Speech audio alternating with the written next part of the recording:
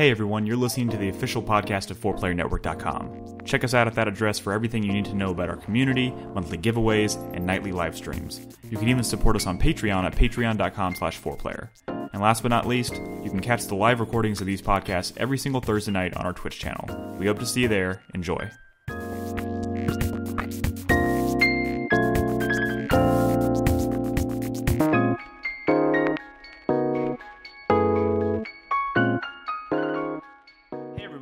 Welcome to 4Player Podcast, episode 734.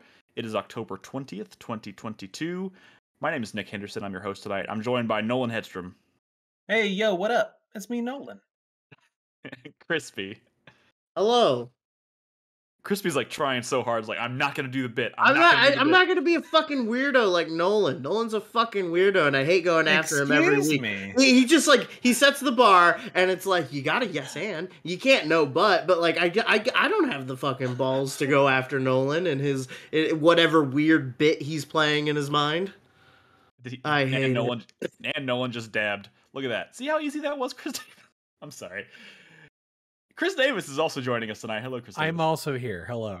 Yes, welcome. Uh, I so if you're listening to this, if it, if it graced your podcast feed, you may notice this is the first show we've done in uh, three weeks. We haven't done one since the very very tail end of September. Uh, it's good to be back. I was on vacation. There was no podcast in the interim, but uh, the guys did some community nights or multiplayer nights or whatever the hell you want to call them on the We, stream. we played with the community. We yeah, had to. It yeah. was the only way we could play the game. oh, True. fuck, really? It really was. You'll- oh my god, we'll it talk was. about it. It's true. We'll we'll talk about Deathverse, Let It Die tonight. Uh, but also, I just want to, tonight is going to be. It's it's it's almost like they named the game on purpose. Yes. Yeah. Oh, that's, ooh, that's Let it die. Uh, Lots of foreshadowing all- going on. it's all very meta. Um, so we'll uh, we'll talk about Deathverse, Let It Die, but it's also a very jam packed show tonight, guys. We have so much to talk about. Uh, we're going to talk about uh, Scorn, the, the squishy, the weird squishy H.R. Giger love child um, that I, I played this week. We're talking about Cultic. We're going to talk about uh, uh, uh, uh, Mount and Blade or Bannerlord 2, Mount and Blade. No, Did I- did I get the- Mountain, Mount and Blade Two. Mount and Blade Banner 2, Lord. Banner Lord. Okay, I got it backwards. Uh, and then, of course, we've been bombarded with all kinds of news and drama, which we'll talk about in the segment, second segment. We got new Silent Hill games announced. We got a new Resident Evil. A look at Resident Evil 4. Uh, we have new Final Fantasy 16 trailer. Uh, and Bayonetta 3 has been the source of a lot of drama in the past week, so we'll talk about that stuff as well. Um, but I also want to remind everybody, if you're listening at home, one thing that has changed. We did this last time, we did it again tonight. Uh, the community segment where we answer community questions has been pulled out of the show. It is now recorded separately in the pre-show. We we go live at eight. We answer some questions. We're going to upload those as a separate video on YouTube.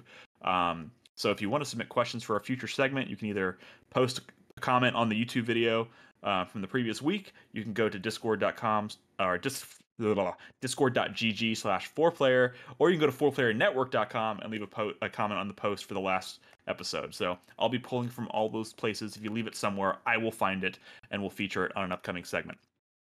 But again, so much to talk about tonight. Um, I don't know where to start.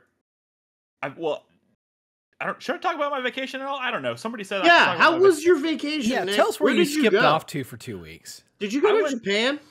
No, I did not go to Japan. I went. I went as far as the the West Coast. Oh, well Uh, then what the fuck was that tweet about? Which which tweet? You were like, "I love you, Robin. I love traveling the world with you," and you like went to Washington. No, I said. Did I say world? I said. Okay, first. I think of you did say world. Yeah, you did. Wait, I, don't- well, I- first I of did think the same thing. Like you're traveling around the U.S. and the problem is a lot of the the people in the U.S. think the that is world. the world. You're not wrong. You're not and wrong. also, the statement remains true whether whether I left the country or not. I know. I just you went a couple states over. hey, you know what? In in in the world we currently live in, you know, pandemic era, I feel like I went around the globe. I like I haven't I haven't gone that far outside of my bubble in a very long time. Um, and it was great. I went to Portland, Oregon for nine days. Got to just hang out there and explore and eat food and drink beer and go to the coast and all kinds of stuff there. And then we drove down, or we flew down to LA and went to Universal Studios for the Halloween Horror Nights uh, for a day. And then we well, we went to Universal two days, and then we spent four days at Disneyland. uh, which was great. It Was a ton of fun. Was not sick at all during the whole thing, and then came back, and now I have a head cold.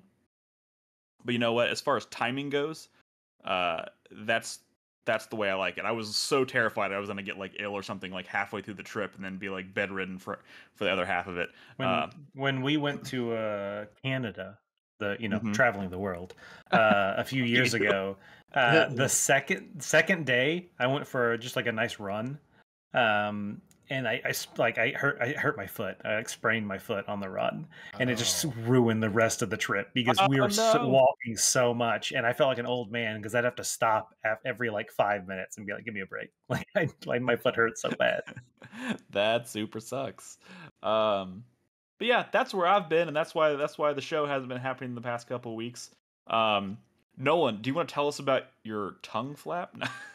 I, I mean, I can. God, no, I Uh, just forgot uh, about it. I'm It's not gonna going to go be into the detail, Crispy. I won't. Go it's going to be the perfect segment into Scorn. We're gonna talk. We're gonna go from body horror to body horror. Um, I uh, I've never bitten my tongue bad before. Um, Mhm. I, you know, I, all, all my life, you know, every once in a while you'll bite your tongue and you're like, oh god, no, no, no, uh, and it's always been fine for me. Uh, but last Friday I bit my tongue while I was eating, uh, and I was like, oh, this is different. Uh, I immediately knew, um, and there was a lot going on in their blood and stuff, and it was bad. And I've not eaten solid food since, um, which sucks. Uh, so, crispy. I didn't go into that much detail. Um, uh, I didn't even I've use the word eating- flap once. Yeah, uh, I've I only did. been eating soup Yeah, you introduced like- the word flap into the conversation, Nick. f- f- for almost a week. All I've been eating is soup, and it's horrible. And I miss solid food.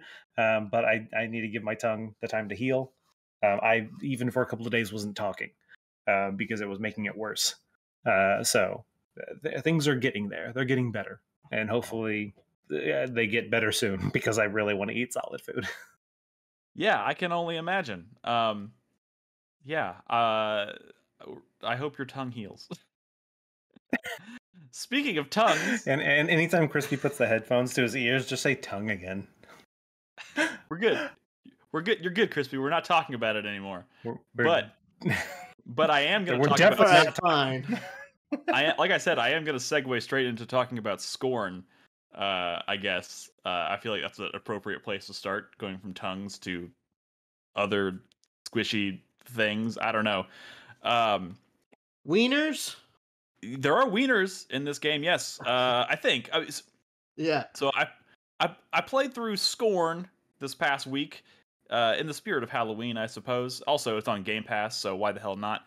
Uh, if, if you're not familiar with this game, it's the uh, it's the it look it looks like a like an interactive love letter to H.R. Giger. If you're familiar with his work, he obviously is famous for uh, doing a lot of the artwork that that uh, you know gave birth to Alien, the Alien franchise, and and among other things. Crispy, are you like watching the footage and like having rea- like weird reactions to it? No. I'm, Dude, I'm honestly, I'm not gonna lie, Nick. The footage kind of looks like my tongue. Ew. hey, okay, okay, sorry. My cat is literally playing with. Hey, get off of that! Oh my god. Somebody talk for a second. I'll be right back. Sure. So Scorn, uh, is love a- letter to H.R. Giger. Um, it's a game where you walk around in first person around some really creepy environments, uh, and there's some other cool stuff that Nick's going to tell you all about. The only thing I know about this Thank you, game is I'm there's a part where your character sticks his thing inside a machine that wraps around his his thing. Would, would that ever happen in an H.R. Giger? and I don't Inspired know. World? Oh yeah, totally. Oh, look yeah. how phallic the, look how phallic this is. Do you see that? You see what This the is- control was? He The has a control pneumatic like, penis four- gun in his hands it, right now. It, it was four like like little Buttholes. fleshy orifices that you stick your fingers in and like pull out and they stretch. That's So every Fuck. so if you're it, it's funny because like describing something like this, if you're not familiar with H.R. Giger's work, it's going to sound really obtuse or really like, just really gross and weird. I don't know. I mean, it is gross and weird, but like if you know if you're familiar with H.R. Giger, this should all be very easy to picture if you're listening. But this whole game, and, and this is one of those games where it doesn't um It doesn't expressly tell you anything. You have no idea what they what is actually happening. I'm sure there's things you could kind of like read into and try and figure out like what they're trying to say or what the story is, whatever. But there is absolutely no context in this game. There is no uh, there's really no HUD. I mean, there's a little bit of a HUD just to show you like how much ammo you have and shit, but most of the stuff is kind of integrated into the environment and and the character model and whatnot. Um, and it doesn't tell you anything. There's no text on the screen. There's no dialogue to speak of. It is a puzzle game. It is an adventure puzzle game with some elements of shooting in it, set in a world that looks like it was ripped straight out of HR HR Giger's brain. Um, and I've got to say, like, as the the influence is pretty obvious if you're familiar with his work, um, and that is all a testament to whoever was in charge of like the art direction in this game and the sound design in this game, which are both phenomenal. Um, Does it sound squishy? it, dude, it's so squishy. Oh yeah. Everything is yeah. squishy. Everything you touch makes noise. It's like the, it's like, it's like a weird fucked up version of ASMR. Like everything sounds like, like you're like, oh, that sounds like Moist. that Uh, sounds kind of so, like, like- that like- sounds kind of nice, but in a fucked up way. Are you saying that regular ASMR isn't weird and fucked up? Good point. That is Like, a good point. But Nick like, is playing through a very bony section of the map. The ones I've seen of it are just like flesh walls everywhere. Everything is Yes, It's flesh. like it's like stirring a bowl of mac and cheese. Flash. yes, and they're on the ground. So like the enemies that you come in come across are like like every, every Did you say the enemies you come in?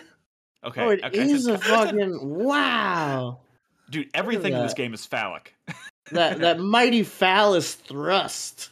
Yeah, the the main gun, the first gun, quote unquote, that you get in this game is like this like weird fleshy rifle thing, but it shoots out like a a phallic thing that just like impales them. Like, and it kind of are you trying to trigger the special kill? No, well, I mean, Oh, dude, you're always. I love I love the commentary from Crispy as he's like watching all this shit happen. Uh, cause like yeah, so like you're using this gun to it, it- think of like the second mouth in like the xenomorphs and Alien. You know the the the, the second mouth that comes out. That's this gun, and you're going around and you're trying to like. It's the only gun that has unlimited ammo because I mean it doesn't have ammo. It just has the mouth thing, but it's very phallic, and you're like pumping it into enemies to try. I, and I kill would say it's like the the uh, the air pre- the air, like pressurized piston from No Country for Yeah. Old Men. Actually, actually, last night when I was streaming this, uh, I forgot who it was. I apologize. Um, but somebody popped in there like, I- oh, I think it was Arca Pants in chat. Popped in and was like, I like to call this gun the penis piston, and that's that's what I started calling it for the, I for the mean, rest like- of the stream. the It's, like, PP for short. subtle. These little consoles look like fucking circumcised penises. Dude, Like, everything in this what is game- going on? Everything in this game, whether Oh, you're giving it a Prince Albert.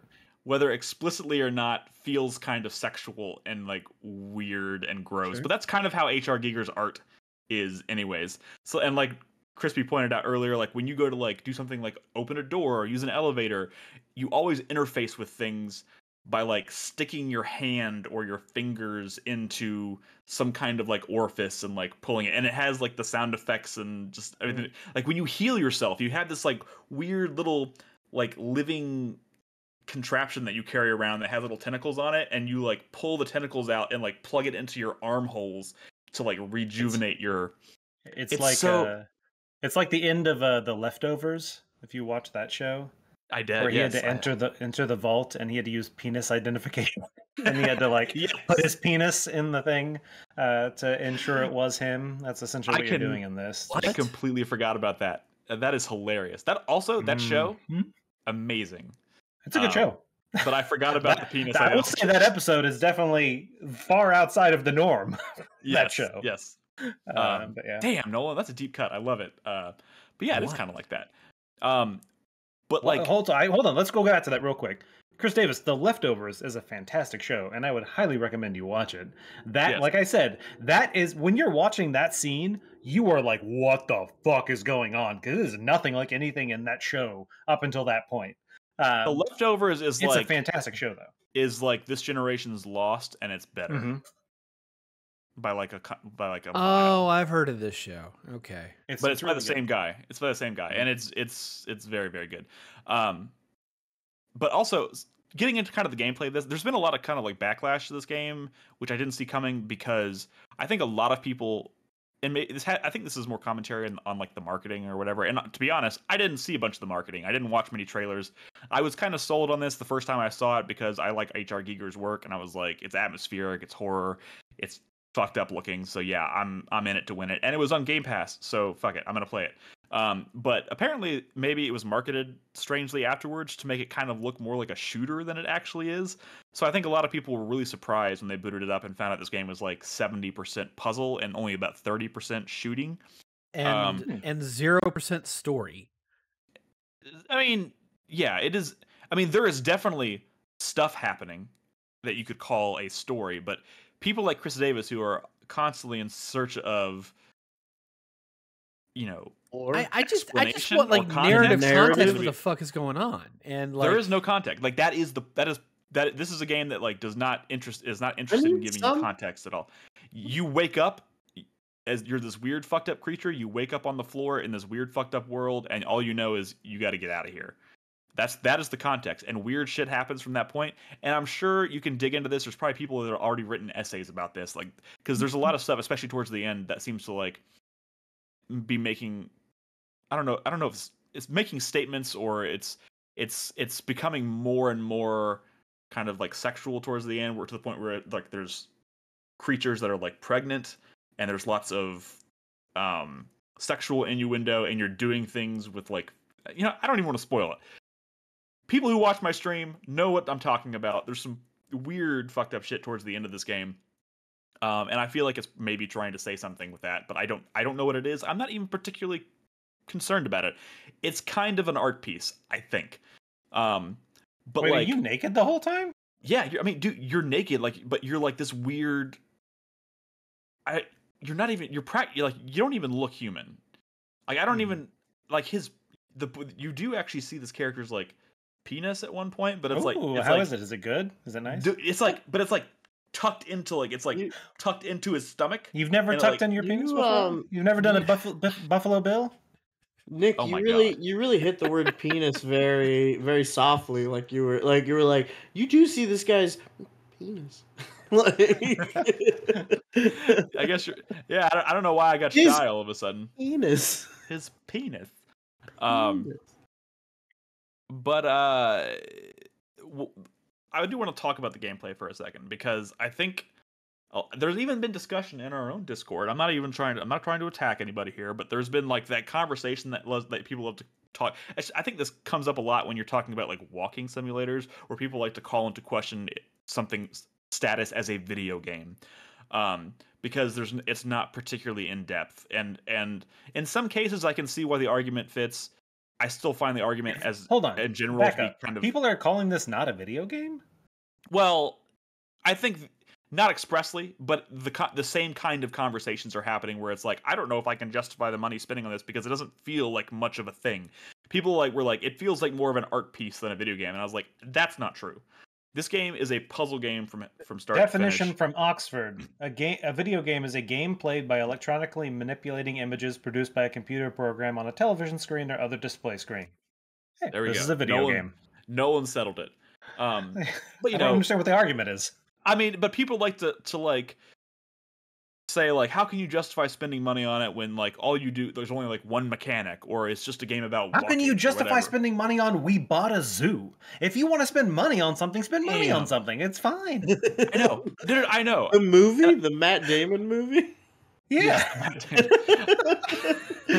That's a good point. That's a good point, Nolan. No, and I'm not do wrong. you and- justify and again, that? I'm, I'm not trying to like actually have that conversation, but I but I do want to I do want to point out like this is a very what the fuck is this cat doing? Did you see this? Oh, Yeah. she's trying to she's run- in your head now. She's trying to like run up the wall. Anyways, um, shut She's up, in Boo, heat. Get out of here. Um, God, she like now she's like completely fucked up my train of thought. Um, what I want to the main point I want to get across in this ga- about this game is that like I I find it fascinating from a design standpoint because it never tells you anything. The whole game is trying to find your way out of this very maze-like environment and solving puzzles and and and stuff but it's all about like exploring the oh my god, this fucking cat. Exploring the environment and like t- like this is gonna sound weird. Like touching things and pulling on things and just seeing what they do, like what Hell yeah. Like what happens. in sounds like a young teenage boy. It's, Yeah. it's it's a game about vibes and feeling your way around. I love it. Yeah, exactly, exactly. But it's it it uses that, and in, in some in some weird ways, it's almost like kind of learning your way around a puzzle in the witness, where it's like I'm gonna do this and see what see what fucking happens, and and then I'm gonna use that knowledge to like try and manipulate this environment to, to find my way out, and like the puzzles are doing that are very smart and um in my opinion they're very satisfying the game actually stumbles i think when it starts to shift more towards combat um because Do a lot of other is- weapons besides this? yeah you eventually get? Okay. you eventually get guns fleshy Hmm. looking guns um but like I, I do think a lot of people were going into this thinking it was going to be doom or something and it is definitely Oh, really? definitely not that um it, is, it is very puzzle focused and actually and actually as a i think this definitely qualifies as a horror game because what you're seeing is very horrific uh but it is the chillest horror game I've ever played. There's like no sense of tension in terms of, and I'm not even using that as like a knock against it. It's just you're not in fear for your life most of the time. It's just about like taking in your surroundings and trying to figure them out and get out. And I really like that about this. Uh, and a lot of that just involves sticking your fingers in like weird like orifices and stuff. So um, if that you sounds stick them in cool your to mouth you- afterwards. I hope not. It's all first person, so you can't really tell. Um, but man, I, I I do I do hope that kind of at the end of the year when people are looking back at 2022 and trying to uh you know talk about you know the, the highs and the lows whatever like people when they're talking about art direction and sound design i hope scorn comes up because the people who were who kind of did that all that stuff with this game knocked it out of the park. It's crazy. Um and you know it's, it's we were talking about length when we were answering community questions. It's kind of like the perfect length. I played it for like seven hours and i finished it. It got really good girth too. Nolan has um yeah check it out. I, I i recommend it. I really enjoyed my time with this. Uh yeah it's on game pass too so it's another one of those like no brainers if you have game pass which some of you still don't have game pass and i don't understand it i'm looking at you chris's No, I have it. I have you it. have it you I have was it now. playing Chivalry 2 on Game Pass the other day. there you go. so we only have one holdout left i never thought chris davis would be the holdout on game pass Hey, look. you know I mean, Car- Carlos started a GoFundMe to get me Game Pass, and it hasn't been funded yet. So That's amazing. Um, all right, so I've talked enough about Scorn. That conversation probably took longer than expected because getting distracted by all the penis talk and the. the I'm the surprised you didn't finish early. Thank you, Nolan. Uh, speaking of finishing early, why don't you talk about death first? Uh, was that? Did Let's that make talk sense? about it. Did Yeah, that transition sure. make Boy. sense? Okay. It works well enough. All right, I'm listening. I'm gonna Um, wrangle this cat real quick. You're good. You're good. So I will say the comment I made earlier about the community and how it was at a game night turned into a community night um, is because in order to play a private game uh, of Deathverse, you have to have the uh, battle pass, as it is, uh, but not the basic one, not the second level. You have to pay for the highest level battle pass in order to have a private game Um, servers. or eh, eh, to just play with other people. Now, I get it. The whole point is it's a free for all, so they, they they discourage you know teaming up. It's technically against the terms of service. Um, but in order to play with someone else that you want to play with, you have to pay. Um, uh, well, I don't remember how much the the $30. Thirty dollars. Yeah, thirty dollars for this free to play game. You have to pay thirty dollars. A battle pass that costs thirty dollars. Like That's holy crazy. shit. Um, and it doesn't even give you access dead. to a lot of the like Yeah. the the stuff in the normal battle pass, right? It well, sure, it gives you the battle pass, so you get it. But like, okay, sure. It's I mean, no longer a free to play game at that point. You're just like, Well, if you tha- wanna that's the this- same. That's the same concept of like so. th- So if you think of uh, you know, like a Call of Duty or something that has a battle pass, generally that unlocks you know items and uh, skins and stuff like that. Um, but that being said, if I want to play Call of Duty with my friends, I can get on a team and play Call of Duty with my friends for free. Uh, Yeah. War like Warzone or something. Um, this is a multiplayer game that if I want to play with my friends, I have to pay for it. I have to pay, or someone at least, at least one person has to. And But and anyway. of which, when you play together with your friend, you don't get any progression. Correct. Yes, it is a private match, so you earn nothing, you gain nothing, you don't get experience with your weapons, nothing. It is a I'm just starting to see why this is not this is struggling. So, so okay, so let, let's let's talk about the game. I enjoyed my time with it. It's actually not bad. Is is it game of the year? No, it has some issues, but I enjoyed the concept. Uh, I like the concept that you have a shield uh, that you can potentially bait other people with. So so let's let's kind of break it down. So it is a the game takes place in a hexagon uh, with This is related Think of to like Let It Die, right? Like that that game. it's in the same universe. Yeah. Um, but I would not say it's related. Uh, think of uh, Metal Gear Solid 2, like the shell. Like it has like nodes uh, that you randomly start in one of them. And those technically there's seven because there's the six outer ones and the inner core. You can if you're watching our footage, you can see the map on the top left. That's how the game works. As the game progresses, instead of ha- it's you know instead of like like a similar battle royale, instead of having like a fog or a gas or you know whatever, um, zones will be like cut off and if you were in the zone essentially think of like the shell you know the node gets dropped if you were in there after the timer like you die essentially i mean granted Right. there is a grace period um, but the whole point is they are slowly funneling people down to a single node in which the final battle takes place So it's a battle royale. I mean, this is no probably for, a is a battle it is a, it is a battle royale. Okay. Well, the, Um, ano- I mean, another mechanic of it is that while you're playing, the game will spawn this superpowered AI hunter that is actively searching and trying to kill uh, player characters. correct Gotcha. Um, well, so that's the thing. So Chris Davis, they actually introduced a new hunter since the last time we played. Um, this new one, Hunter G, um, will go after somebody. But you- what you can do is you can essentially tag another player by hitting them, and now he will be locked onto them. Oh, and so it is kinda cool. essentially a game of tag where if the hunter is after you, you can like in the, the first hunter we played with Hunter It's like H, hot I think, potato. I kind don't of, know. Well, it's- uh, like Hunter Q. uh, wha- whatever it was. I think I want to say it was Hunter H. I guess it would make sense the, the alphabetically. Wait, no, that doesn't like, go in the other way. Sonji Maybe in it's going up. I don't know. there's three new hunters actually. May- Maybe there are. Okay, so Tac does confirm it was Hunter Q. Um, I I never encountered them really uh, when we played it on the first night. Uh, only once, and I just ran away. Uh, but that one was you essentially lose their line of sight, and then they kind of forget about you and they look for someone else. Uh, Hunter H, as soon as they lock onto someone, they are like going for them, um, and so you tag someone else. Um, there are various weapons in this game that completely change your play, play style. There's a machete, there's a katana, there's fists. Uh, there's like a buzzsaw that you can like ride, like a skateboard. Uh, there's all this stuff and stuff that's really cool. Um, the other thing is, um, all of this is kind of based on your uh, little floating AI. I forget what it's called. Um, Wilson, I think something um, something Oh like yeah, that. Wilson Um, unit or Like the Yeah, volleyball. you're- Yeah, uh, like your little Wilson unit.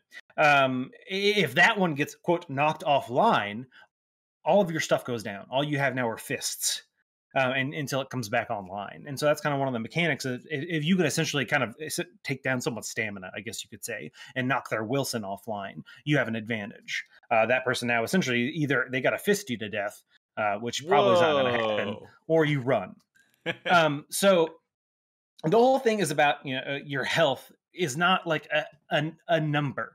I, I this is the concept i like. Um as you attack someone you essentially take their health from them. Uh, you'll notice on the bottom of the screen there's almost like a heartbeat. And currently mine in this game is 2000 out of 2000 that's the max it can go.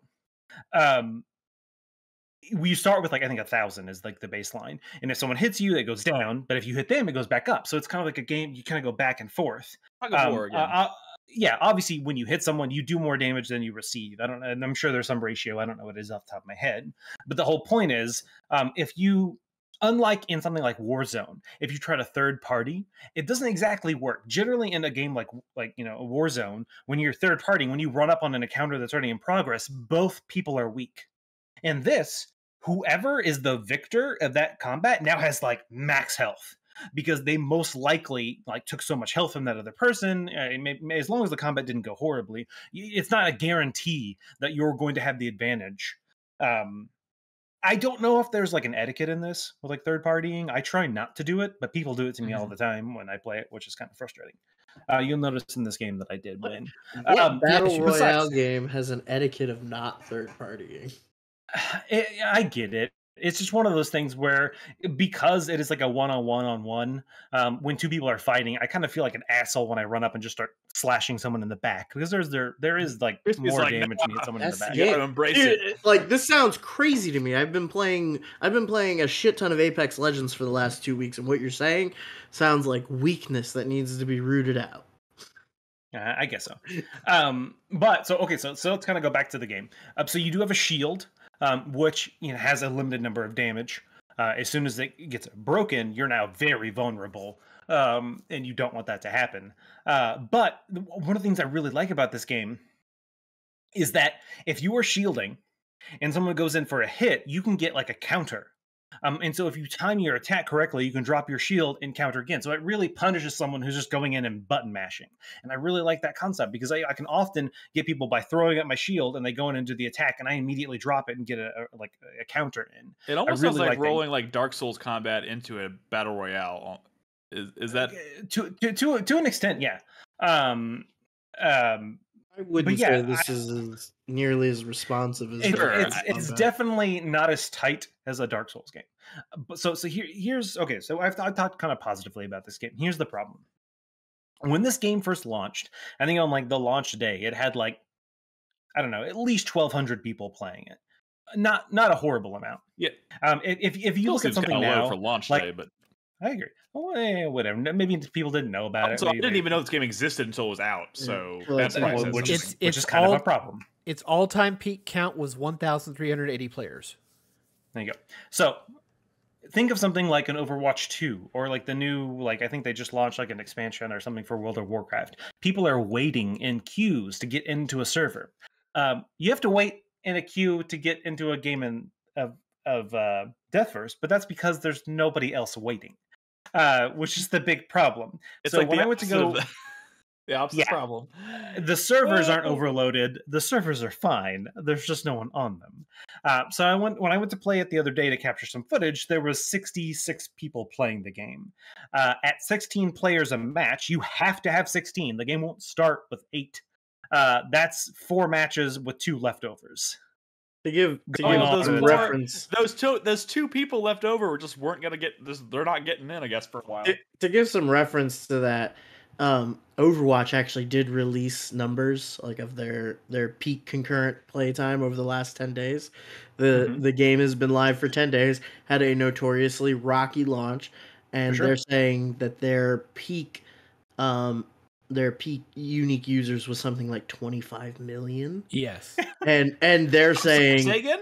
and they're they're like and, and the attitude is like we're happy with that but you know it's not like you know it's not Ideal. ground ground shaking like you know earth shattering numbers Yeah. and Well, that I was say that was a free to play game that yeah i mean it is a sequel and it but it but considering the fact that it had such a rocky first day where most people For couldn't sure. even like play the game Also, and this I would be game curious to decided to, launch against it. yeah that. yeah. It did. insane. And I would also be So- curious to go look at what the what that was that number was like for the original Overwatch when it launched. It's still probably way better than this. For sure. For sure. Yeah. oh I yeah mean, this is definitely a niche game. It is definitely not like well, it's a, Overwatch is a first person shooter. third. Yeah, It's first-person also not shooter. fair because it's You know Blizzard. like it's got like the Blizzard money behind Oh, it. for you know sure. what I mean? um the frustrating thing i have with this game i, I ha, in my opinion it has potential. It is not bad. I like some of the weapons i like some of the play style i like the environments i like that um, there are certain platforms that are destructible. Um, so you can essentially bait someone to start like running after you and then destroy the platform from out from under them and kill them. Um, there's a lot of really unique ideas with this game. Uh, the different weapons the way they interact are good. Like there's like some like fist like gauntlet type things that are completely different from a sword. They are more punchy. You can do like a ground attack that will like destroy someone's shield. There's all these different mechanics and all there's special abilities. There's so much on potential with this game. But the problem is, it it's not it's struggling so hard. And in my opinion, they need to just fucking just pay some people to play the game. Pay like a couple thousand people to fucking play the game for a few weeks to get because the frustrating thing is is I enjoyed it, but the problem is when I have to wait, I would say on average 3 to 4 minutes to get into a match, not because the servers are overloaded, because there's no one playing, is a bad experience. So what happened? So I will say the other night when I was capturing footage, I played I don't know, maybe eight or nine matches. The minimum wait time I had was a minute and a half. The maximum was like eight minutes and 45 seconds, Yeah. which is ridiculous. That, that like eight mean, and a half, may- over almost nine minutes to get into a match. I Uh, mean, it almost so seems like- It almost seems But- like they should consider like dropping the battle pass and then like respecking like how they I, I honestly, it. I honestly don't think the battle pass has anything to do with it. Like, I really don't. Like it I, is a, I- like, it is a wall. Like it is a barrier, and Not really. You know, I- I, I have paid zero dollars for this game. Paying anything would not make my experience better. Um, the fact that it is so like so. Here's prime example. I had not played the game for a week. We played it as like a community night the other week. I put it down. I was like, "Hey, I'm gonna talk about this on the show. Let me capture some footage." Pick it up. It takes like eight minutes to get into a match. I'm very rusty. I'm literally the first person in the game to die. I waited eight minutes and 40 seconds to get into a match. I watched a loading screen. I watched an intro cutscene. I saw all the people. The match started. In 35 seconds, I died. Now I get to wait eight minutes again. That that is a horrible fucking experience. Yeah. And, and it's one of Uh, those things where it's like if, if they can just kind of get the ball rolling, I think it would be much better. Honestly, I, I, agree. It's not perfect. There's some tweaks that need to be done. There's some like you know, uh, yeah, uh, nerfing of certain things and, and and whatnot that could probably make the game a little bit better. But the fact that like there's just so few people playing it, Yeah. it, it's a self fulfilling pro. it- you know, it just because there's no one playing it, nobody wants to play it. Because there's no one playing it. Because when I want to Yeah. go play it, I have to wait so long, and I get into a match and I die. And there are certain like I think I won three matches the other day, and you know I felt fucking fantastic. But the problem is, I also lost like seven matches, and eh, generally I either lose right away, or I get almost to the very end. I'm either the first person to go out, or the second, or I win.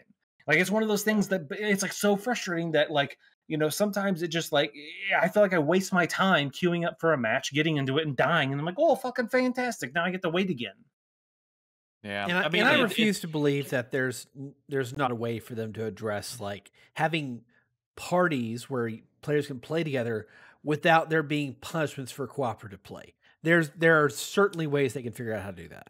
I mean, I mean, the, the would have to fascinating thing about a, team-based game, yeah, which they don't have.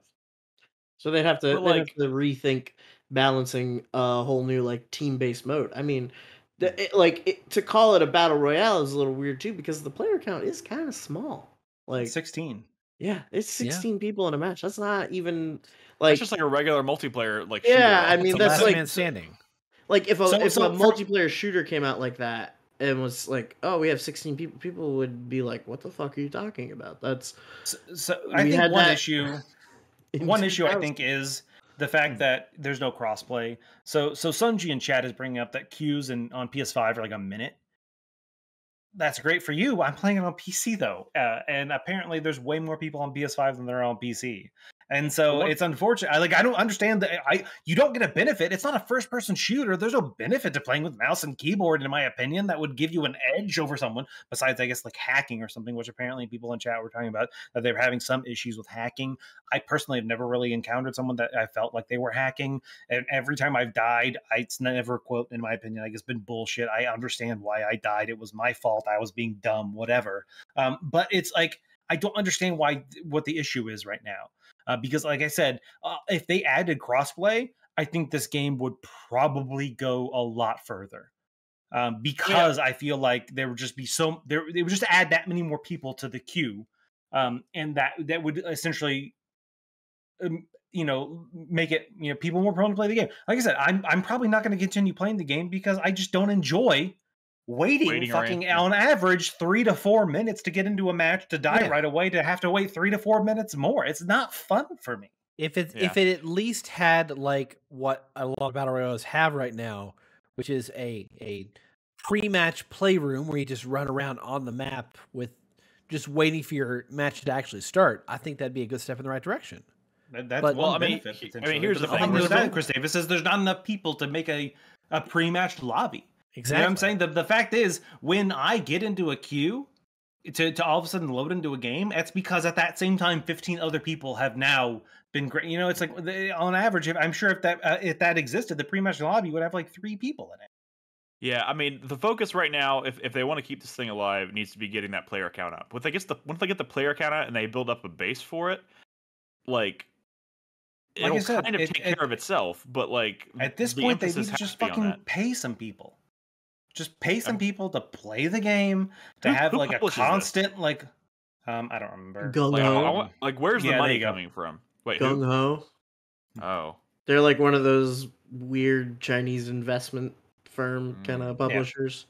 yeah. So it, the game may stay online because somebody's just throwing an infinite amount of money at it. But like, uh, you guys, you guys are talking very optimistically about a game that I feel like is quite obviously No, no, no, no. I, I don't think it's going to go anywhere, Krispy. I, like I said, I in my opinion, it has potential. I was regretting playing this game, so we, we decided to play this game because you know it just released. Um, it's the you know sec the, the game in the same universe as Let It Die, which I think most of us here enjoyed at least the time we spent with Let. It Die. Um, and so This I watched. Brad was like, "Hold on, hold on." I had never heard of this game, and Brad was like, "Dude, we should play Let It uh, Deathverse, Death Force." And I looked it up, and I was like, "This looks horrible." I played the game. I had a I had a great time the night when we played it with the community. I had a fun fucking time. I enjoyed my time with it. I was, you know, ready to play more. And then, like I said, as soon as I went to go play more, all of a sudden there's fucking no one playing the game. Yeah. And like I said, if they just had some fucking people playing it, I think it has potential. But because they don't, and it, it- they fucked the launch of this game, I don't oh. know if it will ever go anywhere because they fucked the launch. Oh, I see. Okay, sorry, I misunderstood your original statement for a second. I thought you were saying you don't think it's going anywhere, as in they're not going to can they're not going to like cancel it. But you're saying you're saying it's not going to go anywhere. It's just not going to take off. It's gonna fizzle out. No one's gonna fucking Yeah. play it. So and, and it's a, Okay. it's a multiplayer game, and if no one's playing it, that means that no one else wants to play it, which means no one's gonna fucking play it. And and Yeah. I mean, and, and it doesn't look like they're really willing to put the effort to support it because I just opened up their their Steam update uh, queue of of every you know update they pushed, and it's it's apologies for maintenance, and it's apologies for cheating, and it's apologies for server issues and compensating That's for not that. a good look. They're they're not doing anything to actually promote the fucking game. There, there, there's 66 people playing the game right now on PC. That's fucking. It's a free to play game, and there are 66 people in the fucking world. I playing this game. And those I think- 66 people are having a great time. Yeah. Guess how many people are playing Counter Strike Global Offensive, Nick? How old is Uh, how, how old is Counter Strike? 22 million. I don't, 370,000 people Like I, I are playing are playing a game that's what like going on 20 years old. game- Yeah. When did That game CS:GO has a out? really weird secondary market, though. Like, No, I understand. Um, this this game is making me think of literally.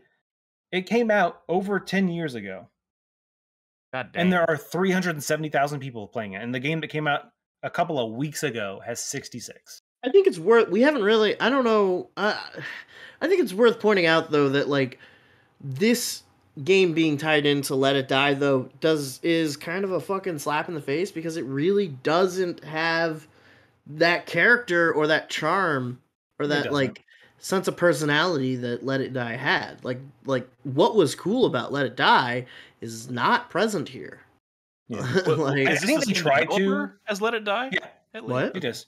It is. They they try to uh, with the like the pre-match, like kind of like pre. Oh, here's the here's the hunter that's in this game, and like, Yeah, I mean, and, and, oh, here I'm the announcer, and I'm here to tell you about Let It. And, and they try to have that same, but it's not the same. What was the the guy from uh, Let It Die? What was his name? The the, the skull guy. Huh? Uncle Death. Uncle Death. Oh. Like they do not have the personality of Uncle Death. It is not as fun. Like I said, the whole thing with Let It Die is the fact that it was quote online but offline at the same time.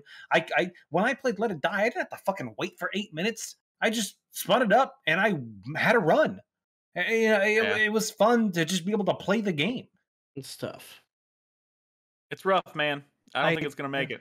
this this game made, or reminded me of Radical Heights, and I just get looked up that game. Hmm. Um, It's it God, lasted that- s- a couple months, but its all-time player peak was twelve thousand seven hundred people. This ain't Remember, even gonna breach that. remember, like what a fucking hail mary play that was too, where they were They- just like, they were like, "We're in trouble. We need to make a game to make money. Please play it. Here it is. It doesn't have all the assets yet. Most of the buildings aren't even textured, but hey, go ahead and spend money on it, please." like that was, oh god, It that was a hail mary, but I think it's, I think it's a better experience than Deathverse. I also agree with that. All right, we need to move on. Uh, For sure. Krispy, you've been playing yeah. Mount and Blade Two Bannerlord. I've been playing Mount and Blade 2 Bannerlord, which either just or is just about to go Come into out of early 1.0. I think it hits 1.0 Next next week. week. Yeah, next like Tuesday or something like that.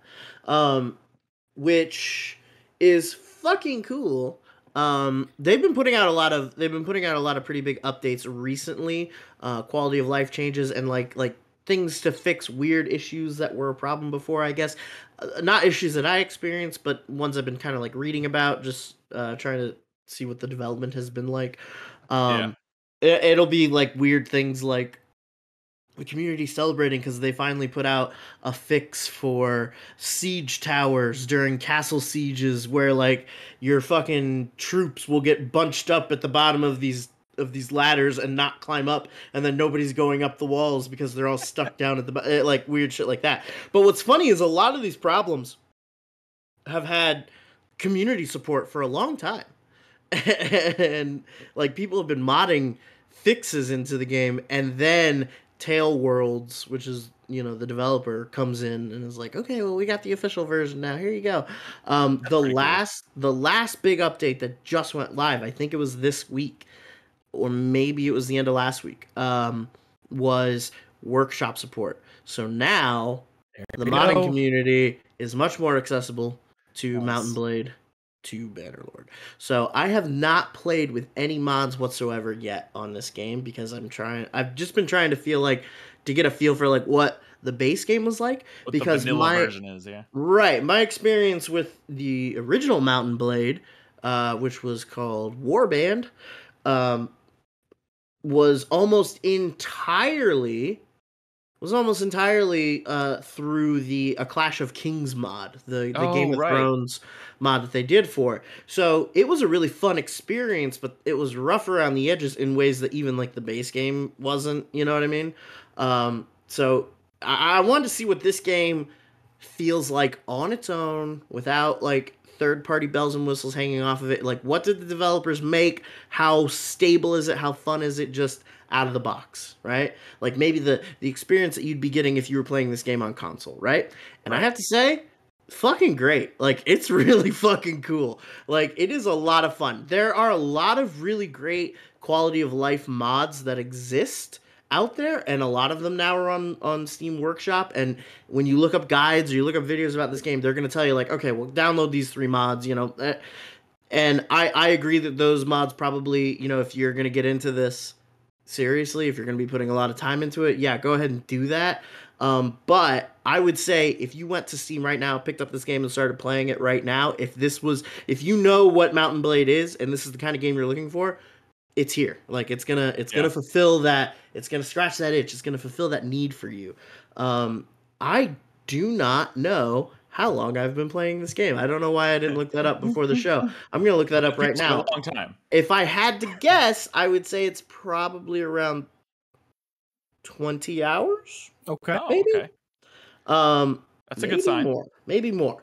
Um, That's enough for you to pledge your allegiance to a faction and, and get in a few fights. yes, in fact, I I spent a long According time. to Steam, 41 hours, Krispy. Holy shit. Forty one. Oh, Mhm. Time flies. oh yeah, forty-one. Crispy has to look at his face like, oh my god, what have I done? It was like, twenty five like, hours in the last two weeks. Yeah, yeah, yeah. Um, I know he's like, yeah. Hours yesterday. yeah, yeah, yeah. Um, wow, yeah, I guess it has been a long time. Um, m- a, a, a great majority of that time has been as a uh, as a freelancer.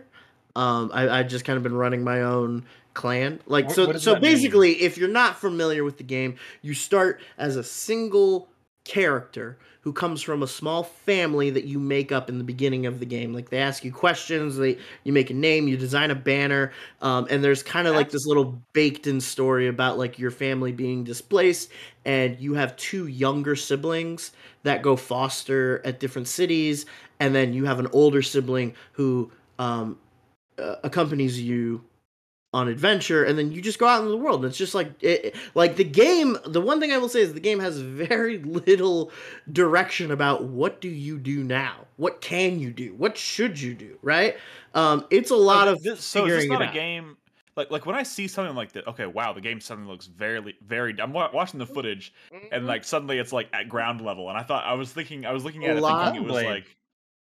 I mean, I don't even remember much about Mount and Blade, the original, other than I, I know y'all talked about it a lot, but it's been so long since I've seen that game. I didn't really remember what kind of game this is.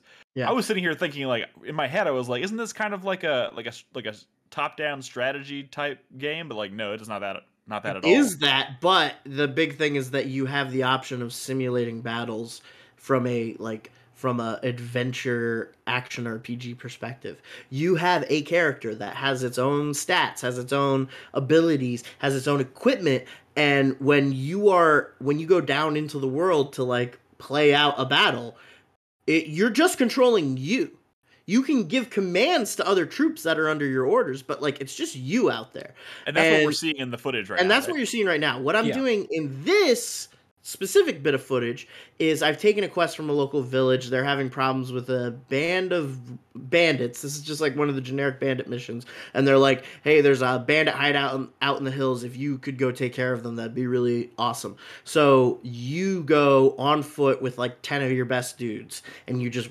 run roughshod through this bandit camp. Right. Um, at this point in the footage, my army has a lot more than the guys you see right now. I think I'm up to like well, actually, maybe not. See, the thing is, it goes up and down so much. Uh, Like, like where I'm at in the game right now. This is something I recorded a few hours ago, so this is pretty. This is pretty germane to my current situation. However, since I've recorded this footage, uh, the kingdom that I'm a part of has entered into another war. Actually, it entered into another three wars. It went to war with three different kingdoms. Um, and I was involved in a couple more castle sieges. I was involved in a couple of city sieges, and I was taken prisoner for a while. And uh, I was in a couple of armies that just kind of like disbanded uh, because they got spread out too thin. Um, I've done a lot since just this footage. Um, but I like how but- your shield has like a dozen arrows sticking out of it. Oh my god, yeah, yeah, yeah, yeah. Anytime you get hit with arrows, they just stay there. So a lot of these fights, by the end of it, you just look like a fucking pincushion. Also, it covers you in blood, and like your faces look ugly. They're really weird, ugly faces. So like at the end of this, you might see my character's like, ah, "We did it, man!" And her face is covered in blood, and she has the craziest fucking look on her face. It's insane. I love it. Um, but I so I I picked um so okay when you make your character, you get to choose one of the like six or eight cultures in the game to be like kind of your background culture. It gives you a little bonuses. The one I picked was Vlandian. They're kind of like the they're kind of like the medieval Britain analog, and their their focus is on like mounted combat and and um and cavalry. Because I was like, I want to be a knight. I want to be mounted. I want to have a lance, right? So that's what I picked. And I uh, I spent the first. So if I've played 42 hours or however long it was of this game, I would say 30 of that at least was me just out in the world as a solo clan, just me and my army.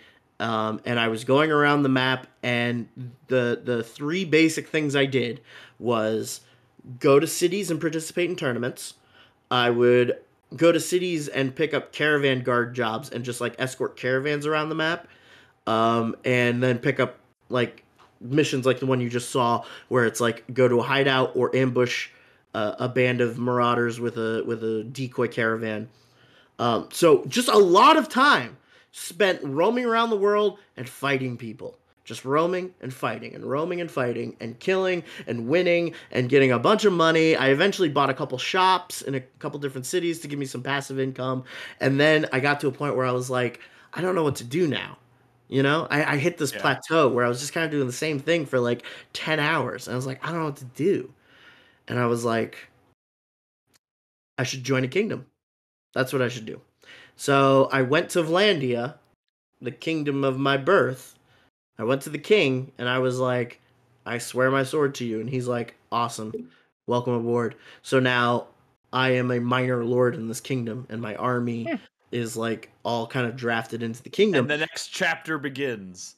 and the next chapter begins because pretty much right away we went to war across the ocean with the like with the um with like the middle eastern region kind of analog we went time. we went on a crusade we went on a crusade and we mine. went over there i was in an army and we were sieging castles and the crazy thing was by the time i fucking joined this army i had already built such a name for myself as a warrior just by participating in all those tournaments and killing all those bandits and helping out so many people that everybody I meet now is like, "Hey, I've heard your name and like people are fucking afraid of you. Like you're pretty cool."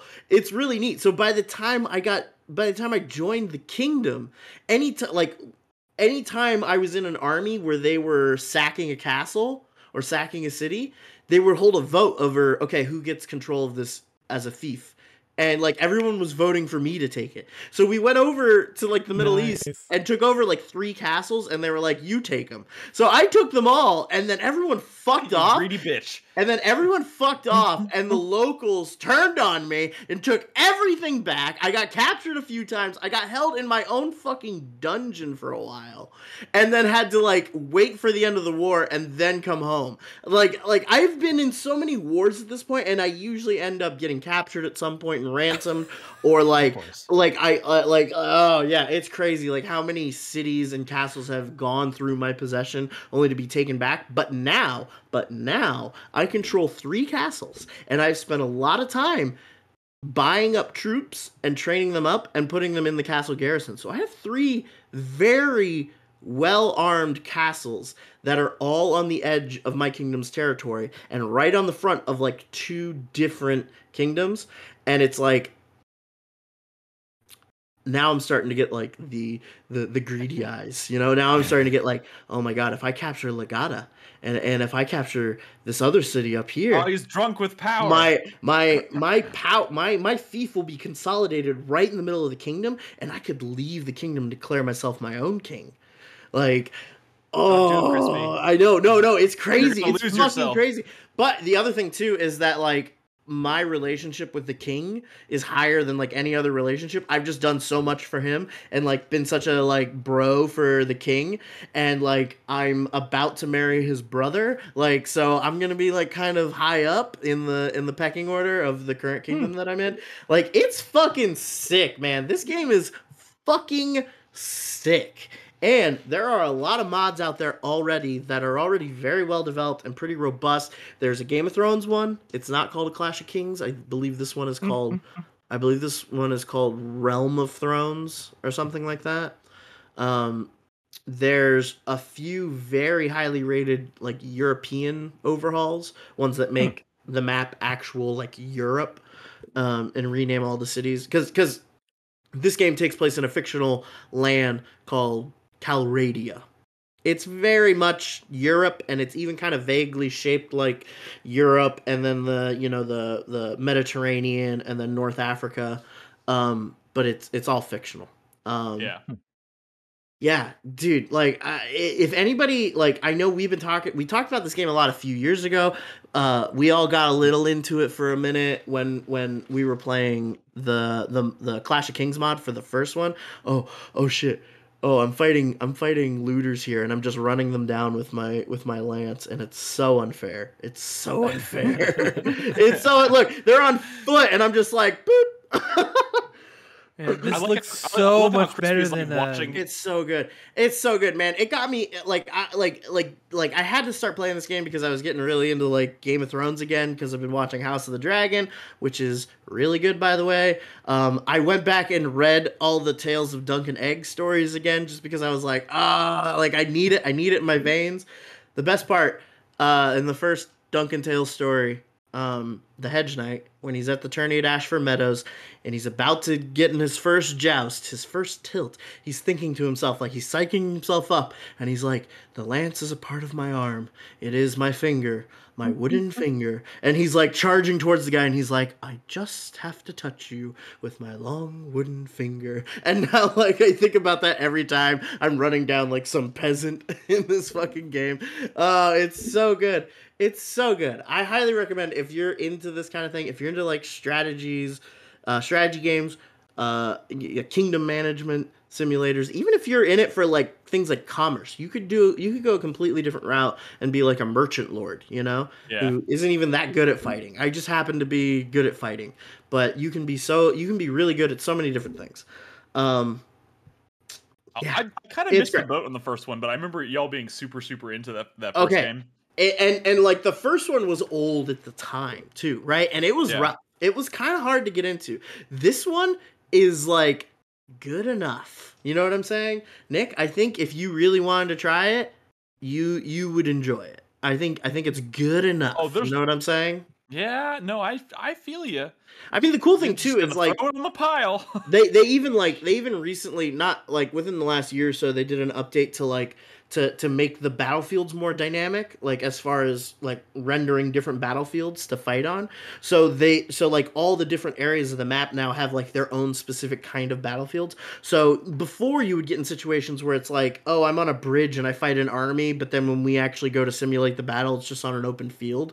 And it's like that's kind of lame right yeah. now that now they've made it so that like oh that map will have a river running through it with a bridge and like you are fighting to take a bridge which is a very different kind of fight than fighting in an open field you know Yeah. like Yeah. it, so so it feels good enough is is what i'm saying and i highly recommend it this game's a hell of a lot of fun well, it's sitting uh, on the cusp of 1.0, so that that in and of itself is very fucking tempting. great it's Like- fucking great Like this this game went on sale on GOG about a year and a half ago for like thirty dollars, and I picked it up then. Yeah. I've been waiting for it to hit 1.0, so like now is finally my chance to check it out. almost i think it's the, The 25th or over. something that yeah All right. Well, that's cool. Maybe I'll maybe I will check this out. I oh, it's a bad idea. It's too I'm many afraid- fucking i'm games. afraid that brad's not gonna play it i'm Uh, really worried I mean, like this is the kind of game he should play, and I don't think he's going to because like this game will just suck hours away from your life. I mean, he's he's already said he's not going to play it until there's a Game of Thrones mod for it. So, Oh, there is. and I even That then I, I'm not certain. He he's got kids now. I know that's what I'm saying. well, Real shame. We'll have, to, we'll have to wait and see. All right, I have one game, one more game to talk about, and then we'll cut to break. I'm, I won't talk about this a ton. I actually talked about this game a little bit when we were talking about the uh, Steam Next Fest, um, oh, a few months back, I guess. Uh, and it came out of one. It came out of. or, sorry, it didn't come out of early. It didn't have an early access period. It just launched um, while I was on vacation, and I ended up downloading it on my Steam Deck and starting it while I was on the trip. Uh, and I'm like almost almost 75% of the way through it, I think. Um, I'm talking about Cultic. I've been playing a lot of boomer shooters, as as as I say, uh, this year. A lot. In fact, I've played three or four at this point. Um, and guys, I think this is the one. I've been looking. For, I've been looking for it. I've been waiting to have that. Like, and I've kind of enjoyed um, all the games that I've played so far this year uh, as- in, in this genre. But this is the one every every game that I've played so far that I've talked about in the show, whether it's Forgive Me Father or Prodeus, uh, I feel like there was one other one that I'm forgetting. That's probably says something about it. Um, there's been something kind of off about it. Um, I did finish Prodeus, by the way, um, which is the game I talked about on the last show. but this is the magic sauce. This is the this is uh first of all, the game is split into two parts. So this is a this is a one man team uh, who is and he has decided to split the game into two separate chapters. So this is technically Cult, Cultic Chapter One, um, Hmm. but it is ten missions, and I've been playing it for about eight eight hours now, and I think I have three missions left to go somewhere in that. So there's a lot of content in here. But as far as like level design goes and just like feel of the guns and secrets and exploration this game kind of has it all and also is coupled with this like really awesome visual style that i just i just love and i'm eating it up. And it's all about this guy who's going to he's investigating this cult he's investi- he's he's following the in the footsteps of a, of another investigator who got who was trying to find a missing person who got accidentally not uh he got actually he kind of like fell in with this cult trying to like find this person and now he's trying to find that person. Um so you're going in behind him and trying to figure out what happened. And this game feels so fucking good to control man i can't even i can't get over this if you've if you've ever played like uh, you know doom or Du- i get maybe dusk is maybe the, the more uh recent example like this is this is, i think i think i like this more than dusk this game the and Chris Davis is looking at me like those are those are strong words, man. Those are strong words. I know I feel like I feel like maybe I'm gonna regret saying that. Some people are gonna like lose their mind at me saying that because Dusk Dusk is fantastic, and it took there was a few there was a few uh it took a few tries for me to really get into Dusk before I finally kind of like it clicked. And honestly, Dusk is probably the reason why I kind of latched onto the genre and like now I'm trying to play mad catch up and like play I'm playing all these games in the genre. But like this game kind of has it all and it has the most robust uh levels like a lot of these levels are very large and I, I spent like 30 to 40 minutes in each one of these levels so far and you get to the end and then it tells you how many secrets you found and i'm like i only found like three of seven. Where the fuck were the rest of those those things? So there's lots of replayability and like a lot of those secrets are, are really cleverly hidden um and a lot of the maps have a lot of like intricate ways to kind of navigate around and and and and you can go different paths and just it's really it just it's really built for this like really crunchy exploration and I fucking love it. But the guns and the feedback you have from those guns feels so good. okay. You get like dynamite and molotovs and you have a lighter so you can either throw the dynamite or you can which and then use it to like shoot at, just if you shoot it on the ground it'll blow up obviously, but that that can be really challenging so you can actually you actually have to pull out your lighter, light the dynamite, time it and throw it. Um, same thing with the molotov. Like it just feels very tactile in a way that I think a lot of the other boomer shooters that I've played this year don't. Um, and I'm also kind of coming off of Prodeus, which I talked about last time. I'm playing this on hard, um, and Prodeus was really easy. and a lot of that has to do with you remember Brad talking about Prodeus last time. He was like, "This is so bizarre because if you when you die, you restart at the previous checkpoint, but it doesn't reload. Like the enemies don't respawn. You're just kind of like navigating back to the area." And like after he said that, I was playing, and I was like, "This is." In fact, one of the weirdest design choices that I I can possibly imagine because you never feel like you're like you're up against a wall because it's every enemy you you kill, no matter what, is is progress moving forward. Even if you die, that guy's gone, which is just a strange thing. Um, this game is definitely not like that. It's more traditional in its design, um, and it's much fucking harder playing on hard, but it's so satisfying. I can't recommend this game enough. Um, Nick, did you ever play the original Duke Nukem 3D?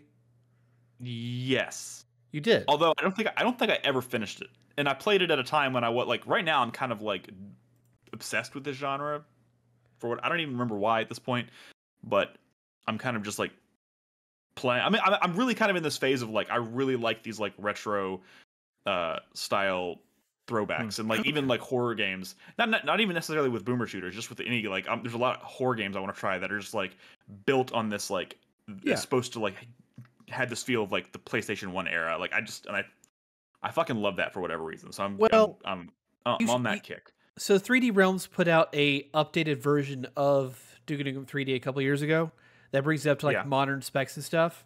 Um, right. You ought to I pick do that up I- on a sale and I- check it out.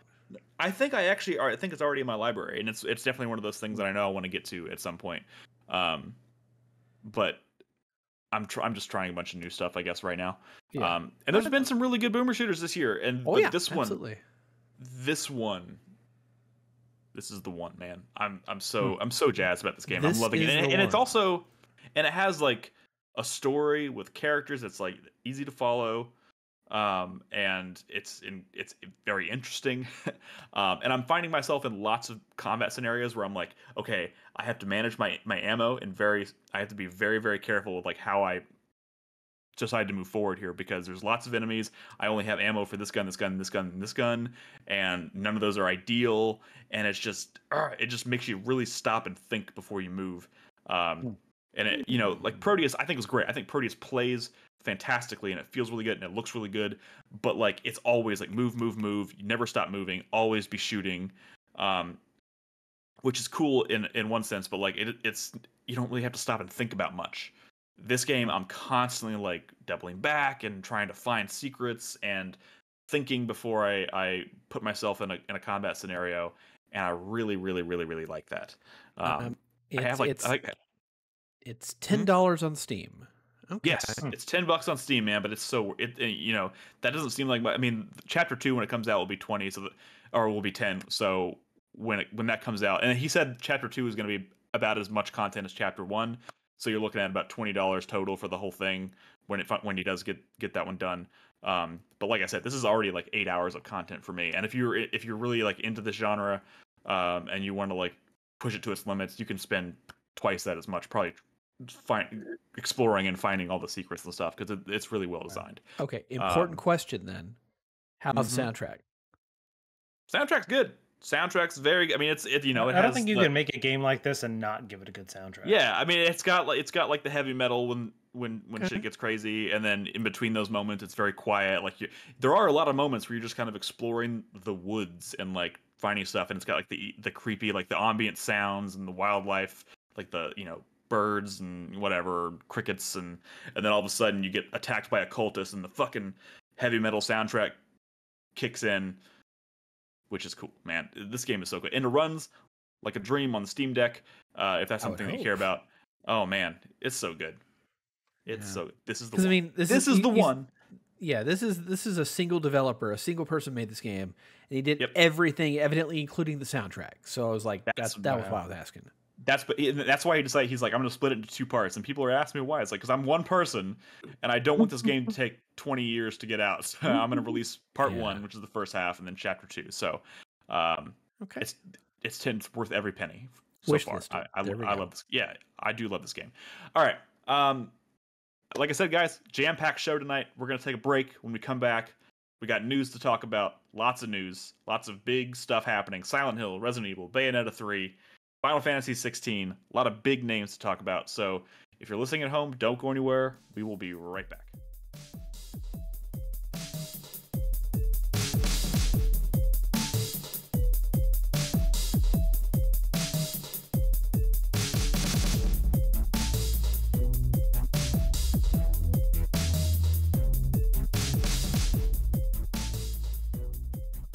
All right, welcome back to the show, everybody.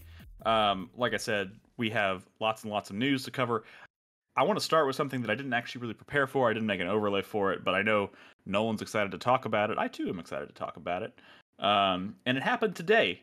Uh, Square Enix dropped a new trailer for Final Fantasy 16 that was pre-hype, I think, pre-hype. Krispy, I mean, you watched it? It definitely doesn't look bad. Which trailer?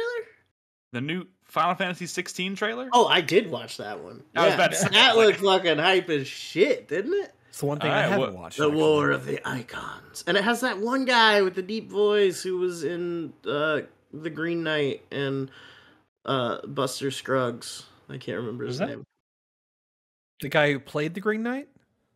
Yeah, Oh, Okay. yeah, I, I could, I could hear it. I could hear it. Yeah. Mm. Very So, what are we distinct thinking? How are we feeling? Uh, it- it's it's, uh, it's it looks fucking dope. Looks fucking sick. Looks cool. Looks great. Shut up. or, from the perspective not of wrong. someone. Well, we're, so we have two different perspectives coming here because obviously Krispy uh, is balls deep in Final Fantasy 14, loves Final Fantasy 14, rightfully so. Uh, the rest of us are kind of coming from it as they like haven't played Final Fantasy much since, or haven't loved Final Fantasy much since 12, right? I mean, at 13, 15. Ten. Hey, that was hey, good. Did you just the try and throw you talking 10 under the bus with with with 13 and 15? No, he's saying ten is the last one he liked. Yeah. Yeah, he's Oh, saying 12 okay. and 13 aren't good. Oh, okay. I've played the Well- true Final Fantasy 13. The fuck Which is does what? that mean? Which is what? It's called Lost Odyssey. Oh, you s- This Fucking use any find any excuse you can to drop to name drop Lost Odyssey. Damn whatever. Straight, get I, will. This fucking guy. So Krispy is obviously excited. It's it. This game is is a lot of the creatives for, that were responsible for making Final Fantasy 14 the success that it is are involved with this project, right? So that's a reason to be excited. And then we have Nolan, who watched the trailer today, who's also very excited, but coming at it from a perspective of you know didn't like 15, wasn't a big fan of 13, if I remember correctly, right? Um, so The I only ever really played the first thirteen. I didn't play the the other two. I mean, I The good watched ones? plenty of them. No, yeah, you're not, you're not wrong. I mean, I'm just kidding. Fantasy thirteen, Lightning returns you know, to the GameStop. over whatever. time, 13 is, is more. You know, I could like I- there. I had a thought the other day. I was like, you know what? I don't know why. You ever get these like weird moods? Where you're like, I want to replay Final Fantasy 13, just like out of the blue for no. I was probably listening to the soundtrack because I had the soundtrack, and I was like, I, Is it just that you really wanna- soundtrack? Is it just that you want to run around the open world all day? You mean the open level, the one open level? Um, 13 had 13 had okay moments. So what I will say, obviously did not get into 14 because it's an MMO, mhm. MMO, and I will not let myself do that um, because I will get sucked into it. Um, so uh, Final Fantasy 13 and 15, so 15 and 13 are the last ones I played. I was not a fan of the story in 15, and obviously a big part of Final Fantasy games are the story. I did not really care for where the story went. Um, I don't like that a lot of it was like, oh, if you want to get this full story, you got to watch this movie first. That movie wasn't very good um, either. It wasn't. Um, I didn't like what they did with the characters. I don't want to go into detail. I know in some of the DLC they fleshed out some stuff. I want to play a game. I want to get to know the characters. I want to like the characters. If some of them uh, have hardships, I want to care when that happens. You want to be um, invested. but- Exactly. I did not in 15. Honestly, I liked the characters and story in 13 more than I did in 15. That being said, I liked that 15 was more of an open world. I liked exploring. I liked the car. I liked the chocobos. It was better mechanically. The story was horrible, in my opinion. Everyone's entitled to their own. I don't know if the story in 16 is going to be good, uh, but I have enjoyed what I've seen so far of it. it's the definitely com- leaning more towards um going for that like gritty like political drama, which honestly I associate mostly That's, with that's like always been with Final Fantasy. well, I mean, I I, associate that I tend to associate It's a very more- like Matsuno style political drama. Like it's it very, definitely very, uh, very Game of Thronesy almost. it seems Oh, very sure. reminiscent. Yeah, Game of Thrones. It seems very reminiscent of Vagrant Story. Um, Mhm. and and honestly, I per, I tend to associate the more political stories with Final Fantasy twelve. Um, Sure. and you know, I think a lot of the stuff that came before that was very kind of like character driven, and the stories were a little more personal and less grand. Um, which I Mhm. tend I really enjoyed, but at the same time, I really, really, really like the tone this trailer struck. Um, the world seems pretty cool, and uh, but the one thing I will say, uh, as mu- albeit I watched this trailer and I was like, that looks hype as fuck. I'm- I'm ready for this.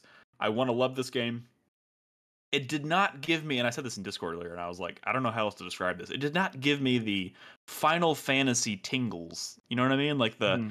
There were I, I didn't get any chocobos. I didn't really get any like moogles or You know they're gonna be the- there. I know they're going to be there. They're and all like, going we've to be there. We've seen screenshots of chocobos and stuff too, so you know it's in there. So I'm not worried about it. The trailer just didn't strike me like if, if they if that if that trailer had ended with a name other than Final Fantasy, it would have made total sense to me. like, Um, oh, ooh, ooh. I mean, I'm- there's not even a doubt. Like I, I, There, there's be- stuff in that trailer though that's so like, like I, I don't know how you can look at like the art of like the different the the the capital cities that they showed that have like those impossibly huge crystals like coming Yeah. out of the ground next, to, like that shit looks so fucking cool. It, It looks does. like No, no, it it looks like totally the does. coolest stuff in 14, but like taken up another notch. Like it's fucking crazy. It does. It definitely like I'm like again. I'm not, I, I'm trying to be positive here too because I I was really it was breathtaking. The trailer is breathtaking. I'm into it, and I know those elements that I'm looking for will be there. I know when I start playing this game, I'll be like, okay, this is Final Fantasy. Yes. Um, but the trailer just definitely seemed like it was, it was going for a di- something just different, which is good. I I think Final Fantasy as a series needs something different. For sure. Um, so yeah, I'm. I, the trailer is great. If you haven't watched it, go. It's like a four minute long trailer. It's very focused on story and characters and kingdoms within this new world. Yeah, yeah, it is Um, not a gameplay trailer for sure. there are little snippets of gameplay you can see. You can get kind of a Yeah, taste of there's like the that. action. There's snippets of They do a little gameplay of like at the end. of like Ifrit and Titan fighting that looks fucking Yeah, yeah, yeah. sick. And that's also shit that's gonna be like super, super hype. Um, That was also one of the biggest disappointments of 15. Yeah. Right. The the the lack of, I of played summons, how I played- infrequent they were. I played Mhm. Final Fantasy 15 for like 50 hours, and like for the amount of time that I played in that game, and because of the way the summons worked in that game, the only summon I ever saw was Titan. I played the whole was so game. dumb. So like 50 I don't. Only I saw don't one know summon. I don't know what kind of mechanical details they've put out so far, but this one kind of makes it seem like you're gonna be transforming into summons, like into the icons. Yeah, it kind of sounds. I mean, that that way. was how a lot of games kind of worked before. Yeah, uh, I guess I mean more like like, you would you would either transform into them or bring them into battle, and you would step Yeah. aside as they fought. yeah, versus yeah, I 15, where mean- randomly they would just kind of show up. Oh, hey, it's me. Uh, I'm gonna hear. uh, bleh, Okay, the Yeah. world's crazy. Uh, blah, blah, explosion, and I'm gone. And you'll see me again in like 30 hours, maybe. I mean, I, Yeah. I, I think that there's a measure that is a reaction to how people felt about the summons in Seven Remake, because the the re- the summons in Seven Remake only showed up in very particular battles after you filled up a specific meter, and it just right. it didn't it- feel. I mean, right. the way the way summons have worked in the past few Final Fantasy games, like in Final Fantasy 13, they were tied to specific characters. You couldn't interchange them and stuff, and they were very they were part of the story. They didn't seem like a huge component of the combat, or they at least they didn't play that way because they weren't as good. Um, this definitely seems like kind of a reaction to a lot of those past games. Um, it's also the first time the summons have been like enormous. Like we're talking like kaiju level 15, size. 15 they were enormous. Well, Technically right, but speaking, like, in in nine too. Mm, I mean, like I'm talking like Ifrit, who is always like kind of at your level. He's like, You don't remember Yeah. Bahamut and Alexander in nine? no, of course I remember. I mean, Final They Fan- were hey, big bro, for sure. Bro, Final Fantasy Nine is like my favorite, one of my favorite games of all time. Of course I remember. I'm just saying, like even even Ifrit in this game is like the size of like a skyscraper. Like he's enormous. He's a kaiju. They're all kaiju. I'm Yeah. pretty excited to see kind of how, what how crazy they're gonna go with the summons. Anyways, the point is, there's a new trailer out there. It looks great. They're still aiming for summer 2023. Proving once again, 2023 looks like it's going to be an absolute fucking bonkers bananas year for releases. Um, so the new check that out. 2016. the, yep, the the new new 2007. Yep, uh, that's going to be one of them years, I think. I don't Um, even remember 2007. You know, honestly, I consider 2018 to be up there too, but whatever. That's that's a whole other discussion. Also, shout out to Frey him and chat who just uh, subscribed for 16 months. Thank you. Um, Thank you. so I want to move on to the other big news. Obviously, um, so I'm a big Silent Hill fan. Silent No. Hill, yes, yeah, I know, surprising, right? Really? And um, we've been kind of waiting. Uh, obviously, Konami, you know, the source of a lot of our ire over the past decade, um, For sure. has seeming, seemingly stepped out of the game business and focused on pachinko machines for a long time. They canceled Silent Hills. You know, they get you know Castlevania has been um, in the hands of Mercury Steam, and then they kind of stopped doing those games too. And Metal Gear, you know, Metal Gear- their whole their whole approach to game development has been very hands off, and they've shifted focus. Well, it's become a we don't care about gamers, we care about money. Right. Um, and pachinko machines bring in the money. So, you know, obviously a lot of fuck you, fuck you the weeks go to Konami over the past decade. And there's been rumors uh, about bringing back Silent Hill for a long time. In fact, there's been lots of rumors, um, lots of rumored projects, a lot of rumors that have been so far as to say this game is being made by this studio um, and it exists and it's out there and we know it. Um, And Norman And- Reedus. yeah, yeah. Um, and then last week, kind of out of the blue, Konami was like, "We're finally doing it. We're gonna pull the curtain off of Silent Hill, the future of Silent Hill. We're bringing it back. We're rebooting the franchise, so to speak, um, and we're gonna do a whole event for it. Uh, and they did a 50-minute event focused on Silent Hill. Which, holy shit! As someone who's been waiting for 10 years at this point, I think, uh, for a new Silent Hill game and had nothing. to suddenly get 50 minutes of announcements related to this franchise, it's pretty it's pretty it's like whiplash. Um and walking away from this event, I am excited. I am also e- in equal measure maybe um nervous. Uh because one thing I think is apparent after watching this thing is that they are getting back into game development, but they seem to be bringing this franchise back, and I wouldn't be surprised if they do this with other things like Castlevania and Metal Gear Solid eventually too. They seem to be like we're going to bring these franchises back by making partnerships with outside studios, and we are going to lend creative talent from those original studios. We're gonna bring it back, but we don't want to do any work. I mean, they they I only mean, it- have it- one internal team at this point. I'm not even certain that internal team exists anymore. Right. So what we're getting, they announced. So let's get right to it. They announced five major things. I would say. I mean, they also talked about merchandise. I don't want to talk about. I don't want to spend. I don't want to spend any time talking about fucking Silent Hill merchandise. But Don't. they do. Merchandise look kind of good. Yes. Okay, sure, whatever. I, but like, if you want to know more about the merchandise, go check out the store. There's figures and skateboards and shit. I don't. It's it was weird. They announced three games from three different studios, none of which I think are based in Japan. Oh, actually, the the one of them is.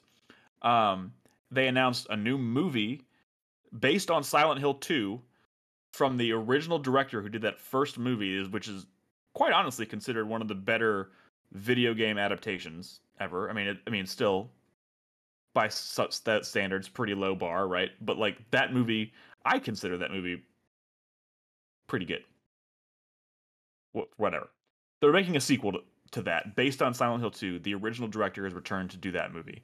Um, which, if you remember, the second movie they made after that was not this director and it was terrible. Um, so they're bringing him back. They're making another movie, which is cool, I guess. Uh, but I don't really want to talk about that.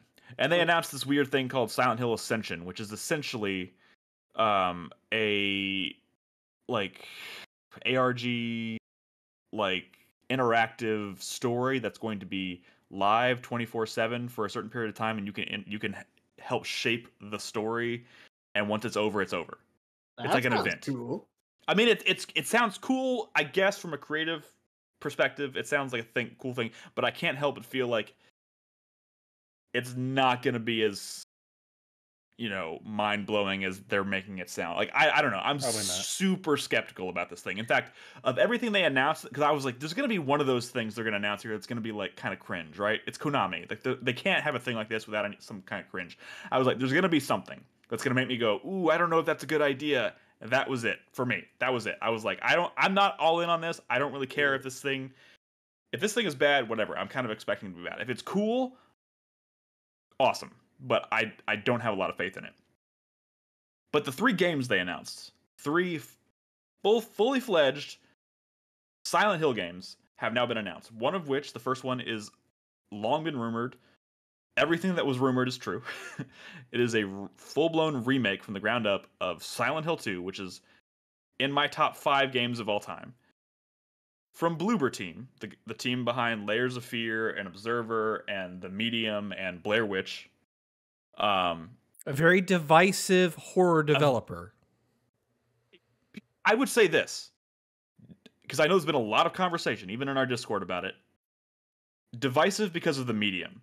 If you take a medium out of the equation, they're they are a solid horror developer that has actually done really impressive stuff with small budgets because all of their games have been very small budget. This is obviously going to be their biggest project. Konami's throwing a lot of money at this. You can tell pretty quickly watching this trailer that this is bigger than any project they've ever done. You read the details about what they're going for, it's bigger than anything they've ever done. For from my perspective, they are the new Mercury Steam of horror games. Not necessarily a bad thing, but they are fairly notorious. But they're not. But like the, they're Well- not even notorious. Like people played Layers of Fear, and for, that was actually pretty popular for a while. Yeah, uh, I don't know much about Layers of Fear 2, but whatever. They made Observer, which is a really cool like cyberpunk sci-fi horror game. Yeah. That had Rutger Hauer and it. Like it was. It, that their claim to fame. I mean, it was a. It was a very Blade Runner type uh, For sure. experience, I suppose. But it was horror. It was a horror game, straight up, and it, it was really creative, but also done with a very modest budget. Blair Witch was on my top ten games of the year. I know I'm kind of a, uh, I know I kind of champion that. I'm like one of the only people that champions that game. I know you're really into that game, but that game's reputation is a bit more uh divisive. But even then, sure. But I think, but I think when people talk about Bloober being a divisive horror, or like what Chris Davis just said about Bloober, I think a lot of it stems from the medium. There's been a lot of conversation about that game. That game, from a technical standpoint, uh, mechanically speaking, was kind of ambitious, and none of their ideas really panned out the way I think they hoped it would. And then on top of that, it had a story that was not very memorable, not very good. And on top of that, there is an element of the story that, to be honest, I went back and refreshed myself on the story today. I read the entire synopsis of it. It's very controversial, apparently, because some people interpret it as being. A lot of people say, or some people say, that the theme of that game seems to imply that people with mental illness should die. Uh, Hmm. Which I did not have that takeaway when I played it. I'm not saying they're wrong. I just know that when I played it, that is definitely not something that went through my head. I read the synopsis of the story today to remind myself of what happened in that game. I don't really see how they got there. But I also have not done a ton of research. I'm sure there is reasoning behind this, and if and I know there's a uh, there's a ResetEra thread about this that you can find that goes into great detail of it. And I'm not saying they're wrong, but I do think, based on my experience with it, having played the game, I think is maybe a bit of a stretch. But I think that is where they're getting this notorious reputation from. But regardless of all that, they are now making a complete ground up remake of Resident Evil 2 with Konami's backing. Akira Yamaoka is involved with this project. He, not only is he the composer of all the Silent Hill games and a an integral component of like what makes this this series great, but he's also he was also heavily involved with the creative process in Silent Hill 1, 2, 3, and and 4, I believe. And beyond that, I think he was mostly just involved with making music. Um, also, also, the word on the street is that Konami has a very tight leash on Bloober Team on this remake. I mean, Um, they, I feel like they would kind of have to because Silent Hill 2 is widely considered to be But I a goat. we If you like horror games, it's a goat. Like it's it's it's an incredible game uh, with a, a very memorable story that people cherish. I thought we didn't um, trust Konami decision making. So why is them having a tight leash a good thing? I think having a tight leash on the Bloober Team is a good thing, especially con- given the concerns people have about the medium and like the story that they were trying to tell. Because the story is a huge component of what Silent Hill, 2, what makes Silent Yeah, Hill 2 so famous. And I'm sure there's going to be tweaks to it, but all, any of those tweaks that they make are probably going to have to go through creatives I'm not-. I'm not trying to be antagonistic here, but really, but you're going to. like no i'm not but like but like think about it okay like like the complaints people had with like the medium was like on this thematic level right Yes. this like problematic theming of the story like you think Mhm. Konami's gonna be like oh i don't know about this this seems a little problem like you think they're even gonna like no, no, no, no. be able to fucking clock something like that No, like not necessarily. like, but I, like what I I'm saying is, think- I don't think that their control is the kind of control that Bloober Team would benefit from. You know But what I mean? I'm saying is, I, I, I don't think this game is going to drift too far away from the original story. Period. oh Um, no! What if it makes people realize that they don't like the original? I don't think that's possible. The, the No, original's No, no, no. the, the original's a classic. Um, and the things that make me excited about this project, when you take Bloober out of the equation, I'm not even talking about. Just, I'm just talking about from the the the, the design the design doc for this game, right? They're building what is essentially an open world Silent Hill game that where you can explore the entirety of Silent Hill without loading, Pretty cool. and that's kind of a big deal. That's never really been done before For sure. and that's honestly they came they didn't really uh, i wouldn't say they came close to it but like the reason why i love downpour so much is because of how open it is and how much freedom you have to explore kind of at your own pace and go and do things in your own order um, and how kind of organic everything felt i love that about that and if they can if they can achieve that with this remake of silent hill 2 which is again one of my favorite games of all time it sounds like a dream project i'm a little nervous because bloober is I don't want to say divisive, but I want to say Bunch of maybe weirdos. not- they haven't. I'm trying to figure out how to word this. Am I wrong? There are a bunch. They I haven't had a killer app yet. I do. They don't. Ha- they haven't had a quote unquote killer app because they haven't had a budget to allow them. I think to make a killer app yet. Hmm. This this this game they have a lot of resources behind it. It shows in the trailer. I think this game looks. I mean, personally, I think it looks phenomenal. It it is an Um, Unreal Engine five game. We should mention. Unreal Engine 5. That shot where he walks out of the the opening shot of Silent Hill 2 is is famous. Like like him looking in the mirror, walking out of the of the, the trucks of the the the rest station bathroom and s- s- overlooking Silent Hill is iconic. And when that Right, when that scene came, game. when that scene came up in that trailer, I was like, "Holy shit, this looks fucking phenomenal." Um, kind of took my breath away. I'm very very excited about it.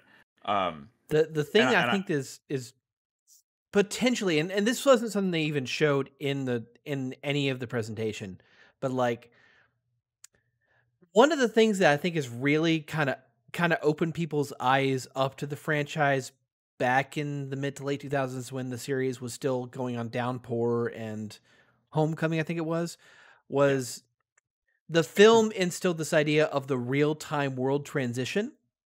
Yeah. Um, people really like that, and I really like that. yeah, I mean, it was a Um, cool element that they just couldn't really do with the technology back. They- in the they day. couldn't. And- But I think they can do it now in this. And if they did Well, yeah. that in this with this technology, that'll be fucking well cool. they're i mean they did elements of that in the medium like one of the cool things about the medium if if nothing else is it almost seems like they were preparing. The preparing cool thing about the medium. they were preparing the tech that they're going to need to to make a silent hill game the story didn't pan out and i think their dual world system that came up with the medium was just not as impressive or as exciting as i think they were building it to be but the but the the real-time transitions that are kind of what you see in a Silent Hill game were impressive and really cool, and I think we're going to see that here. That goes back to them talking about making an open Silent Hill that with no loading. So you're going to have these moments where it's going to everything's going to kind of deteriorate, and you're going to end up in the the other side, the other world version of Silent Hill, right? And that's going to with no loading, that kind of implies it's going to have to happen in real time. I fully expect that to be in this game. So I'm excited. I'm nervous. It's one of my favorite games of all time, but hey man, that's kind of exciting in itself. If if it fails, it fails. I think this is going to be a make or break project for Bloober. If they do do well on this, it's going to make it's to make that their name is made. I think if they somehow fuck this up, I don't think they're ever going to get people to trust them again. Um, at least not with a project like this.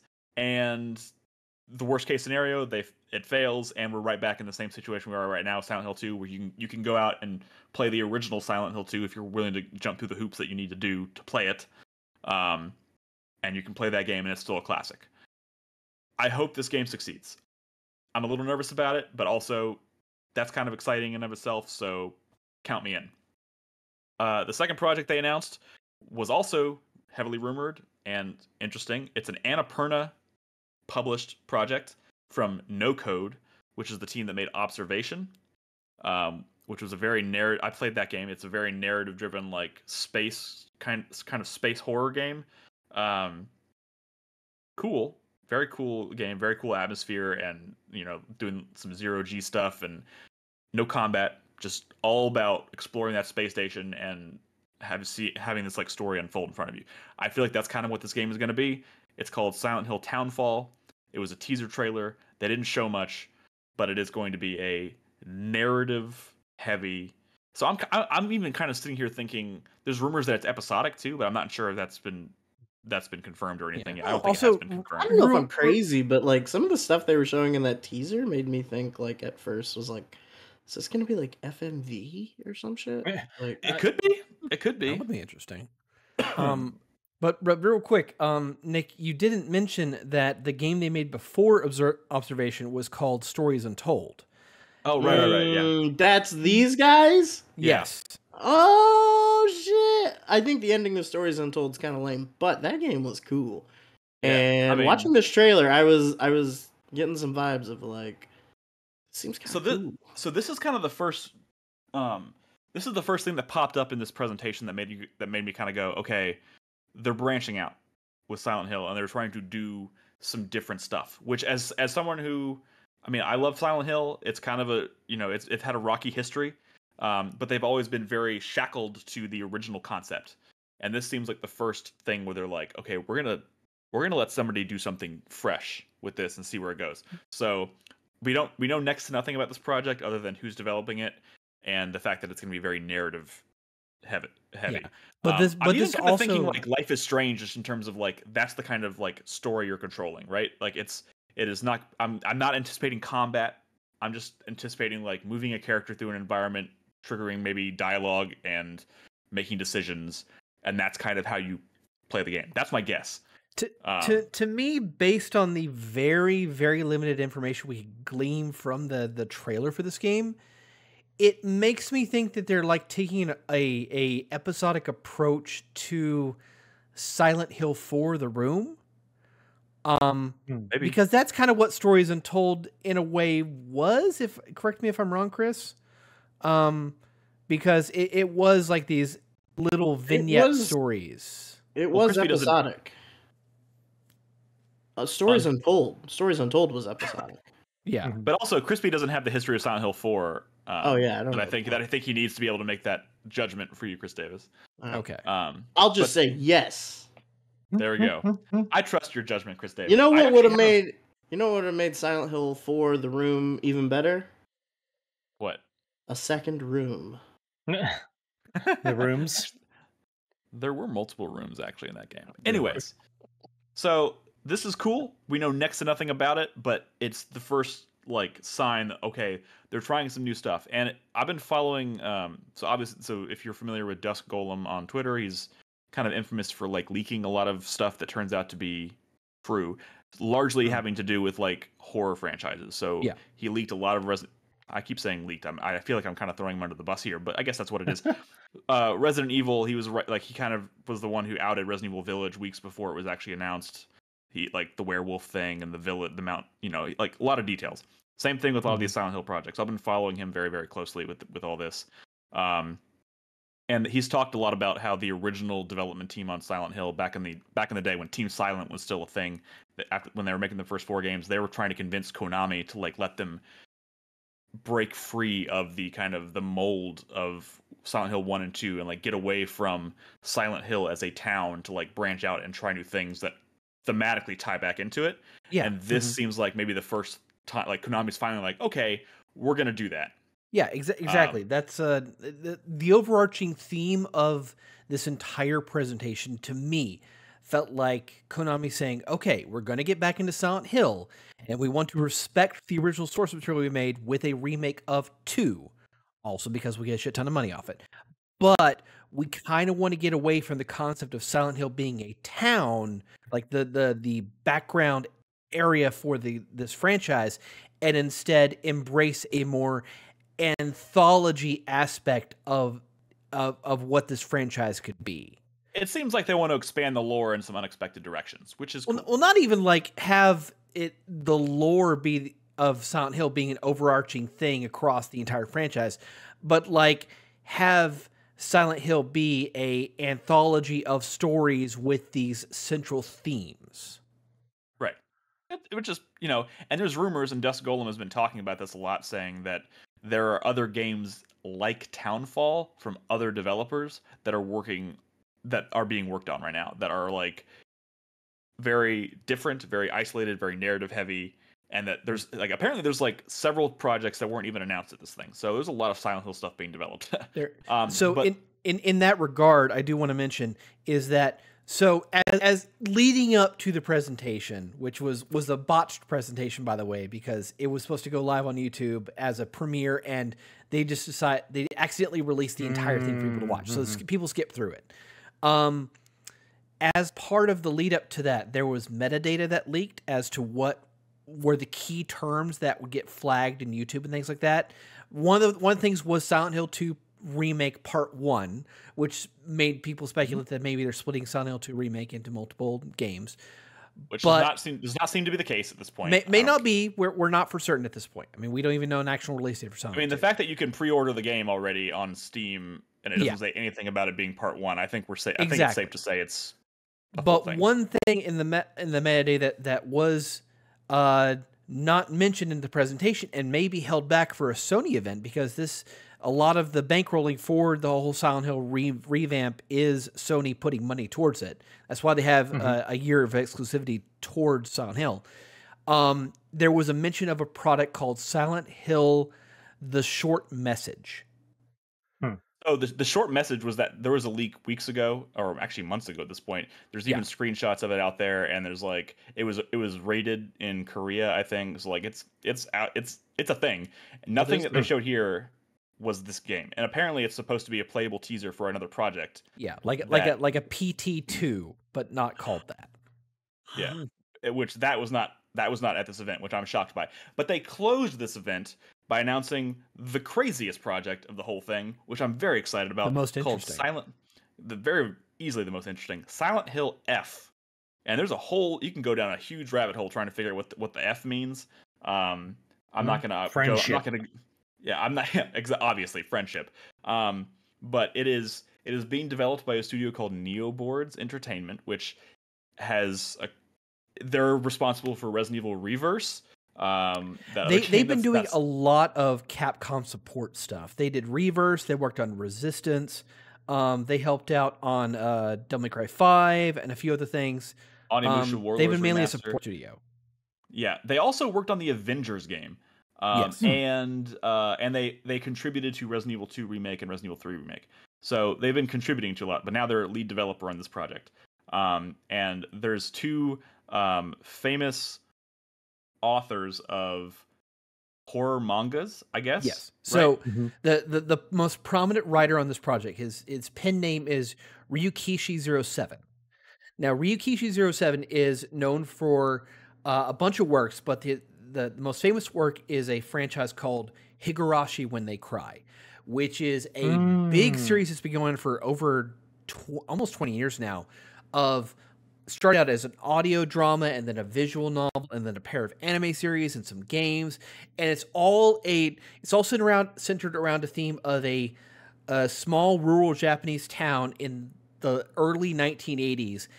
Um, and I won't spoil it for you, but it's all about huge themes of psychological horror set within time loops and and and people murdering each other based on exposure to stuff in the town. It's it's it's fucking bonkers and it is a terrifying show or in whatever or whatever aspect you choose to experience this franchise.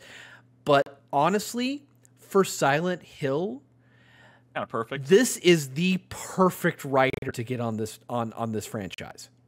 Also, I think it's also worth mentioning that uh, uh, Junji Ito, I think is his name, right? Junji Mhm. He's not he's not involved with this project, but he is pretty much confirmed to be working on a Silent Hill project. What? And I think a lot of people theorize that it's that the short message game that was not announced. Well, that's Yeah, gonna that is be the best one. But uh but but this Silent Hill F thing looks fascinating um because it's it's set in 1960s Japan. Uh so obviously getting out of Silent Hill proper um, there's a lot of there's a whole third. I, I, I do encourage you to read. I'll, maybe I'll post in the show notes. There's a link to Dusk Golem's thread he did today, where he broke down that entire trailer and like analyzed the shit out of it, and even came up with some theories as to how it might still tie back to Silent Hill, uh, which has a Mhm. lot to do with the flowers that are showing up in this trailer but there's a lot of Mm. imagery of like uh, a schoolgirl in feudal, uh, not not feudal, 1960s Japan.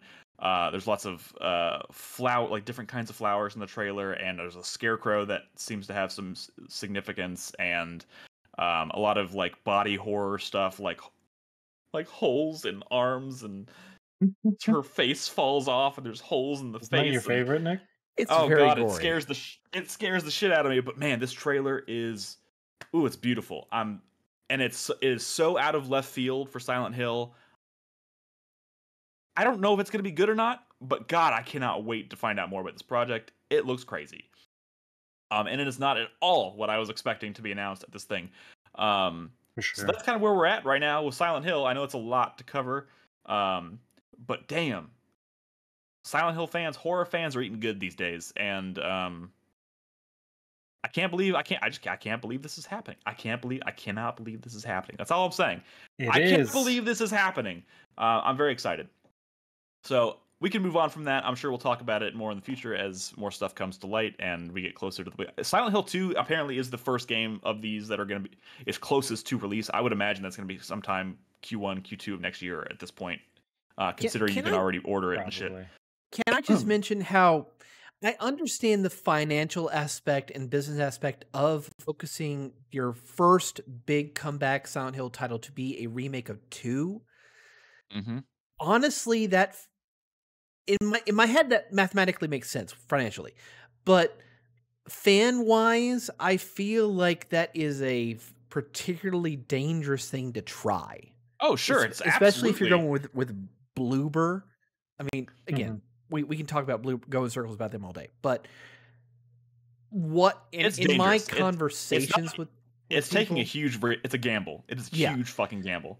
I mean, I think the I think the better thing for them to have done would have been to try and remake the original Silent Hill, a game more. is a game that is only available on PS1 and it was a remake for the Wii, obviously, Mhm. which was which was weird in and of I itself. think that I think that Wii remake is, or not remake, but like reimagining is maybe the reason why they didn't do that because it's kind of already been done. Not exactly, but kind Yeah. of. But I think it Um, would have been better if they would have instead focused on remaking the first Silent Hill and then earn up the fan uh, trust from that project to do Silent Hill 2 because Silent Hill 2 is well and beyond the the most beloved of the franchise. Without a doubt. Without a Yeah. doubt. It's a huge Right. gamble. Um, I'm, but also I'd like to. I'd like to think this is me being a little pe- optimistic. You know me. I'm kind of a positive dude. No, It's probably it's gonna get me in trouble one day, but I'm I like to think this is th- this is their them demonstrating that they have faith in this project, which hopefully has some weight. Hopefully means something. If this is the first foot they're gonna put forward for this reboot of Silent Hill, I'm hoping that indicates that they have faith in it, um, and that sure. it's they're impressed by it. Um, otherwise, I don't think they would be making this their first outing. So we'll see what happens. Um, it- real quick, want to. We also got to look at Resident Evil 4 remake today. I just want Mm-hmm. to get your first take on this. If uh, is there much to say about it? I mean, They fucked we're it! all- They fucked it up. They Why they do did you not say fuck that? Fucked. Resident Evil 4, the best Resident Evil, and they fucked it. Why do you, why do you say that, Krispy? He's it looks good. yeah, it does look pretty good, doesn't it? That's Oh. supposed to look that good. wallet. Yeah, That's supposed to look wallet. that good. Um, but Resident hey, Evil 4 is a mid-tier game. what? Damn. I, I feel like Krispy is. It's is supposed to be kind of lame after a few hours. To to be fair, Krispy had not played Resident Evil 4 until 15 years after it came out. So Oh, that's true. Ain't wrong. That's true. I waited the Uh, perfect amount of time.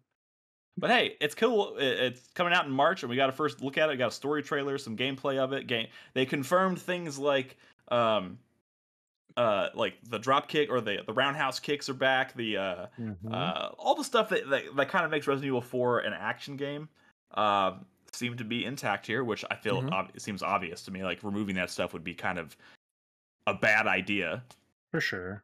um you know but you know the trailer today got lots got looks at like uh character like the characters like ashley luis uh uh, uh salazar he's ba- he's in the game so if you were worried they were going to pull some of the crazier elements out of the game that's not the case um they announced another one of those crazy gamestop collector's edition which i'm not going to do i'm not going to do i don't even have Who space for another that? fucking I got. I don't have enough space for another Resident Evil Ah. statue, and I already have a Leon statue up there from Resident you can Evil just 2 build a new shelf. But um, Five dollars at, at Home Depot. build a new shelf. You think I built this one? You Not, could. not happening. Nolan can do it. No one does woodwork. Build build me a shelf. Um, Sure. yeah, I don't know. This looks pretty cool. I'm pretty fucking jazzed. We don't really know much beyond. They didn't spend a lot of time, I don't think, talking about a lot of the specifics, but it looks pretty Yeah. faithful. And uh, which Resident Evil 2 remake was pretty faithful, but like also felt fresh. I, I, I kind of like that first look. You get a first look at kind of the open area, the first area, the, the town where you fight the the first um, Oh, enemies village. and the the ch- the village. Yeah, the village with the the chainsaw dudes. You get a fir- looks Mhm. very very very very like the layout looks the same um but obviously just similar looks- layout, but it definitely obviously looks a lot more polished. There's a lot more Yeah, yeah. detail. It, Yeah. You know, it's one of those things where you, you, we have obviously vivid memories of Resident Evil 4, but then when you go back and actually look at it, it's super simple and plain, and this is like it feels like a real world, and that is the benefit you get from like remakes and stuff. Is obviously they can, they can add a lot more to it, so it Right. does feel more realistic, which also can obviously add a little more horror to it because when there is a box and a door and a wall and a person there, you know, obviously that person sticks out. But when there's so many little intricate details, like it, it just it feels more intense. w- way more intense and organic and and Mhm. you know I- I- need need I remind needless to remind anybody but like Resident Evil 2 remake was um crazy good like crazy Yeah. good um Resident Evil 3 remake pretty good Okay. I- Alright. pretty good I'm going to give it that pretty good I was, I was, Um, gonna, I was gonna get after you. but uh you know this is the next logical step and resident evil 4 is beloved. We're literally talking about remakes of two of the most beloved horror games For of all time on the same Yes. podcast and they're both launching probably within a few months of each other. It's crazy. And then dead space is also getting a remake coming out in january. Like what is happening right now?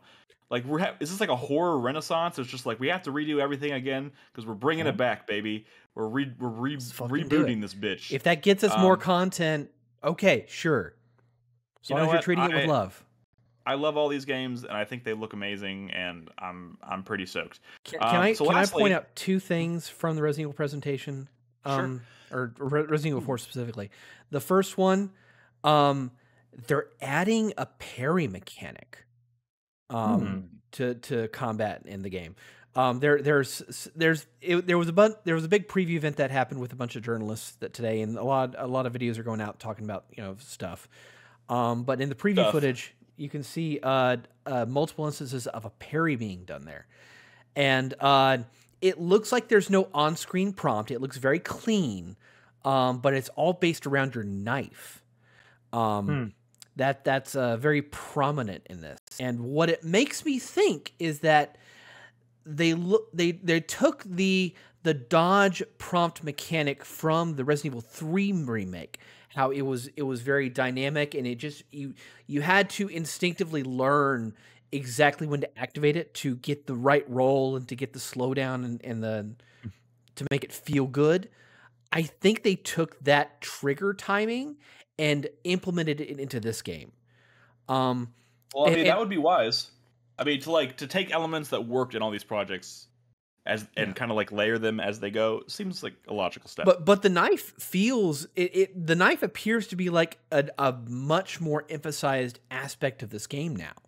Um like in in in certain as in certain footage you see uh Leon get grabbed by Ganado and sure there is the button mash prompt to uh push away an enemy but there's also a secondary prompt to use your knife as a counter. Mm, hmm. Um, also, uh, in several defense sequences, you see like Leon gets cornered by the chainsaw guy, um, and he Hmm. uses his knife to defend himself.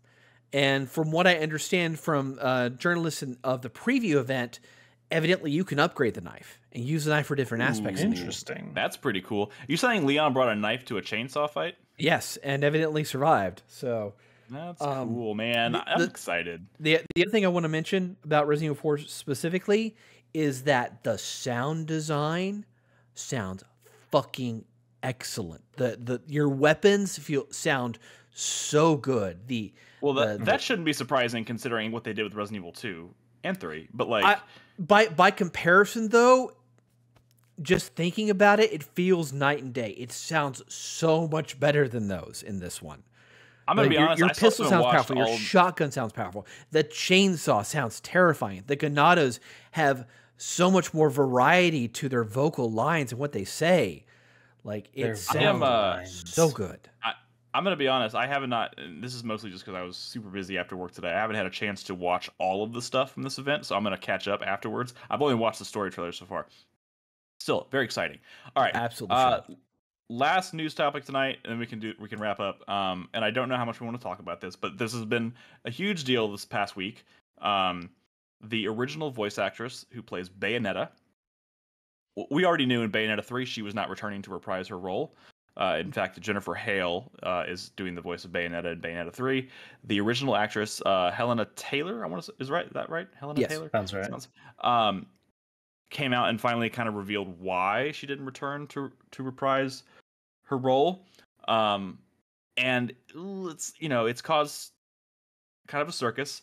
Uh, she released a video saying that she didn't she she was offered according to the original video she was offered a flat rate of four thousand dollars to reprise her role as Bayonetta in Bayonetta three, which seems ridiculously low. And she went on to say that she she made a counter offer, they rejected it, things fell apart. She did not. She obviously did not return to do the voice, and then she called for a boycott of the game, um, which, based on her original video, seemed like maybe an appropriate thing to do because obviously you want to advocate for the talent who put together these games to be compensated for their work, and four thousand dollars for a starring role in a vid- in a in a major franchise seems criminal. Um, Yeah. S- after she released that video, obviously people were like, "Oh my god, this is so fucked up." Hideki Kamiya started commenting on it uh, to the point where I think Platinum took his phone away, or I even saw like maybe his Twitter account got like taken down or something. I don't know. What- Maybe What he just got was- mad of all the people tweeting at him in English. Yeah, he, he, He'll he- block you. several years ago he decided that he just doesn't want to deal with uh, English speakers anymore. So he just blocks anyone that speaks English to him on Twitter. That And seems uh, racist. well, I mean, no, yeah, that, that's what happened. That's what He's he a was doing. little I- xenophobic about it though, because he just calls people who speak Eng- English insects. Yeah, no, he, he, he- he's a character on Twitter, but like whatever. Yeah. So what But what that happened was his was bit. It was funny. That So- was his bit. after after he after he uh after Helena Taylor's videos went viral, people started tweeting at him and he was blocking and and unfollowing or, or just blocking everyone as so fast that Twitter support actually thought that somebody had bot. hijacked his account or something. So they they put in protected status. Okay, so that so that's what made it look like he was temporary. He's back at this point, I assume, right? Yeah. On Twitter. Yeah. Okay. Is he? Yes. So He is. I thought um, they- he- I thought after the protected status thing, they straight up deleted his account. I think that was like a temporary thing, but I'm fairly certain he is back. Maybe somebody in Hmm. chat can confirm whether he's back or not. The point is, um, he adamantly denied the claims, um, and then Bloomberg has done some some investigative reporting and and released some subsequent articles now saying that the the original offer to Helena, Helena Taylor was four thousand dollars per session for up to five sessions, I think. Um, Something like and that. I well, and I or the math eventually somehow worked out to she was actually being offered about fifteen thousand dollars for the role, which to be honest, still I mean, here's the, here's the problem. Here's why I don't really want to talk about it too in depth because I don't know. I don't think I'm I'm obviously not a voice it. actor. I don't think any of us here are super qualified to talk about like what's fair, what's not fair, how it even works. Like it He's- seems like a very if you're not familiar with the, that side of the business, you just don't know. The, the, I don't know the what's fair, contracts that are put towards the voice actors in this industry can be very convoluted. A lot of them, most of them are, are held behind NDA, so you never figure out, you never know what kind of amounts we're talking about. And the only times you ever hear about amounts are when there's actors crying foul. Like, Right. uh, like for example, uh, the guy who played Helena Taylor. Roman in Grand Theft Auto 4. Uh-huh. Or Mm. yeah, there, there's a lot of things about residuals and things that just uh, Which residuals and and um residuals and uh Royalties? royalties is not a industry norm yeah. um, not. yet. But there's a debate about whether or not it should be. Yes, absolutely. Yeah. And and that Yeah. and that's this is what's this is the conversation that's being drummed up, which regardless, um, because there's now there's now it's being brought called into question as to whether Helena Taylor was being entirely um acting in good faith here. And obviously Platinum being a corporation, nobody wants to trust them. But now it's like, well, can we trust Helena Taylor? Because she seems like she's not being entirely truthful. So the whole thing is kind of a huge fucking mess. But regardless of who here, who's in the wrong here, it's it's drumming up an important conversation. It seems like because those debates about royalties, residuals, and how much people are being compensated for obviously need to happen. I have no doubt in my mind that voice actors in this industry are, in a lot of cases, are being undercompensated. Yeah, um, a lot of talent probably is, and, and it's, it's when you think about a a game like Bayonetta, which is um, a very successful franchise by for all intents and purposes, and, and sells millions of copies. Um, you would think the people who are key in making that a reality would be would be receiving more than four thousand or fifteen thousand dollars for their time on it. But you also got to take into you also got to take into account things like you know she's being offered fifteen, but it's not like a one to one thing. She's not being paid hourly. It's she's being paid by session. Like f- five sessions of voice work could be done in a month. So she's technically getting fifteen thousand dollars for a month. I mean, I'm just spitballing here. Also, I, I believe time- that the the SAG union of uh, what what constitutes the length of a session is about four hours. Right. Hmm. But also, it's not a one to one thing. It's not like you know our eight to five. Like it's not like working eight to five at a regular job. It's just. It's not. It's it's apples and oranges. So Yeah. and this is why again I feel unqualified to really talk about this. And you Uh, also got to think about like, well, why did Jennifer Hale take if if she was offered around the same amount or less? Why did she end up taking it? But you also got to think, well, Jennifer Hale is a very very famous voice actress. She has Mhm. jobs probably lined up for the, for years. And you think about, I, I don't know Helen Taylor's background necessarily or what she has lined up, but she may not be getting as much work as Jennifer Hale. So taking a lesser amount for someone like for Jennifer Hale may not seem like a big deal. The, But Jennifer the, the did come out body of comment it. Helena Taylor's work is pretty much Bayonetta. So Right. Uh, so, So- and- but but also Jennifer Hale did come out and comment on this, and she's under NDA, so she can't say anything specifically one way or the other. But she has she did point out her history of advocating for this kind of thing, and sure. she says she says I hope my history of of advocating and speaking out about this kind of thing speaks for itself. That's all I can say.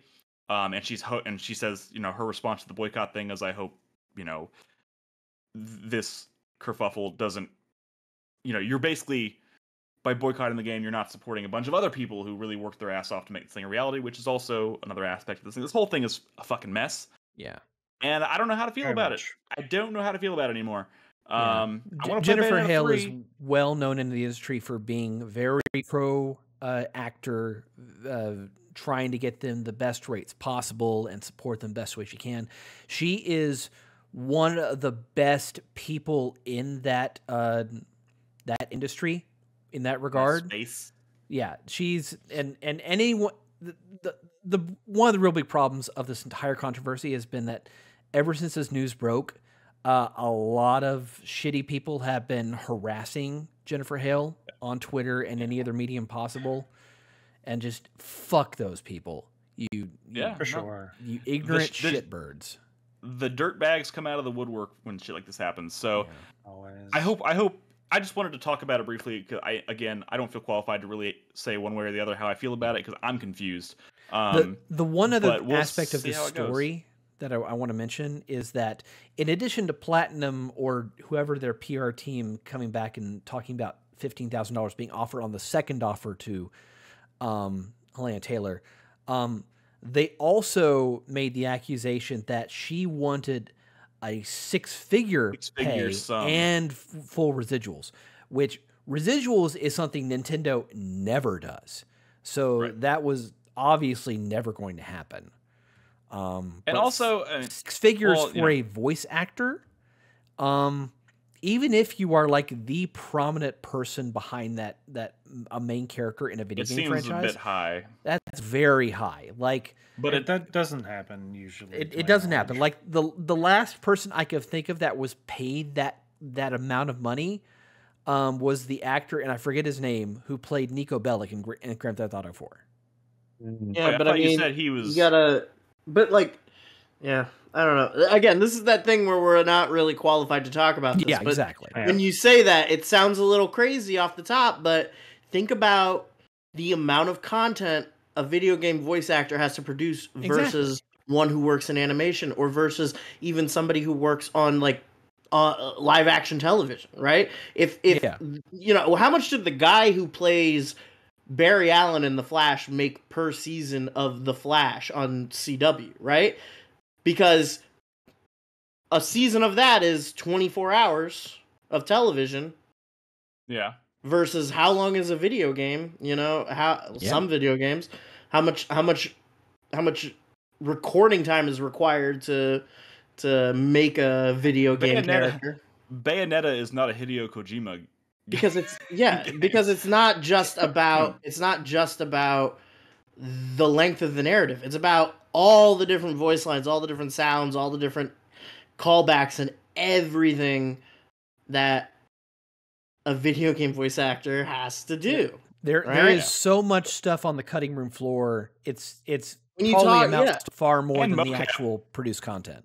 Mocap I mean, also goes hand in hand with this too. Technology in chat points out, which is, but Yeah. I don't know if that's the case here. I don't think that's the case with Helena Taylor. But yeah, so. mocap also. it is Is a part I of it, but- yeah it's it's a weird not one-to-one kind of thing so when when you hear something like oh well she wanted six figures and it's like well you know hang on like i get that that's not the industry standard but like maybe that's the point maybe she knew she wasn't going to get that and this is kind of like part of a larger strategy to help start that conversation. Yeah. i don't i mean I, I personally i think i don't think that's what's going on with helena taylor.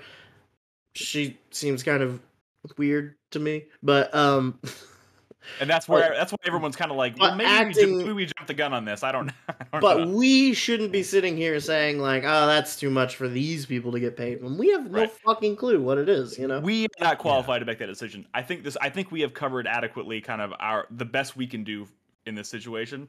Um, and but that's just what's happening in the world of video games. So hopefully, hopefully we explained it well enough. Um, but now, like I said, time to wrap up the show with the four player minute. I want to remind everybody, community segment usually goes here. It's now recorded in the pre-show. You'll find it on YouTube. Um, so check that out if you want to see the questions we answered tonight. But now let's wrap up the show with the four player minute. Uh, you know how this works. I usually start with Brad. Brad's not here tonight, so I'm gonna go with Krispy. All right, my four player, whatever last word soapbox minute. Uh, this week I'm going to give to Gotham Knights, which comes out 26 minutes ago. Um,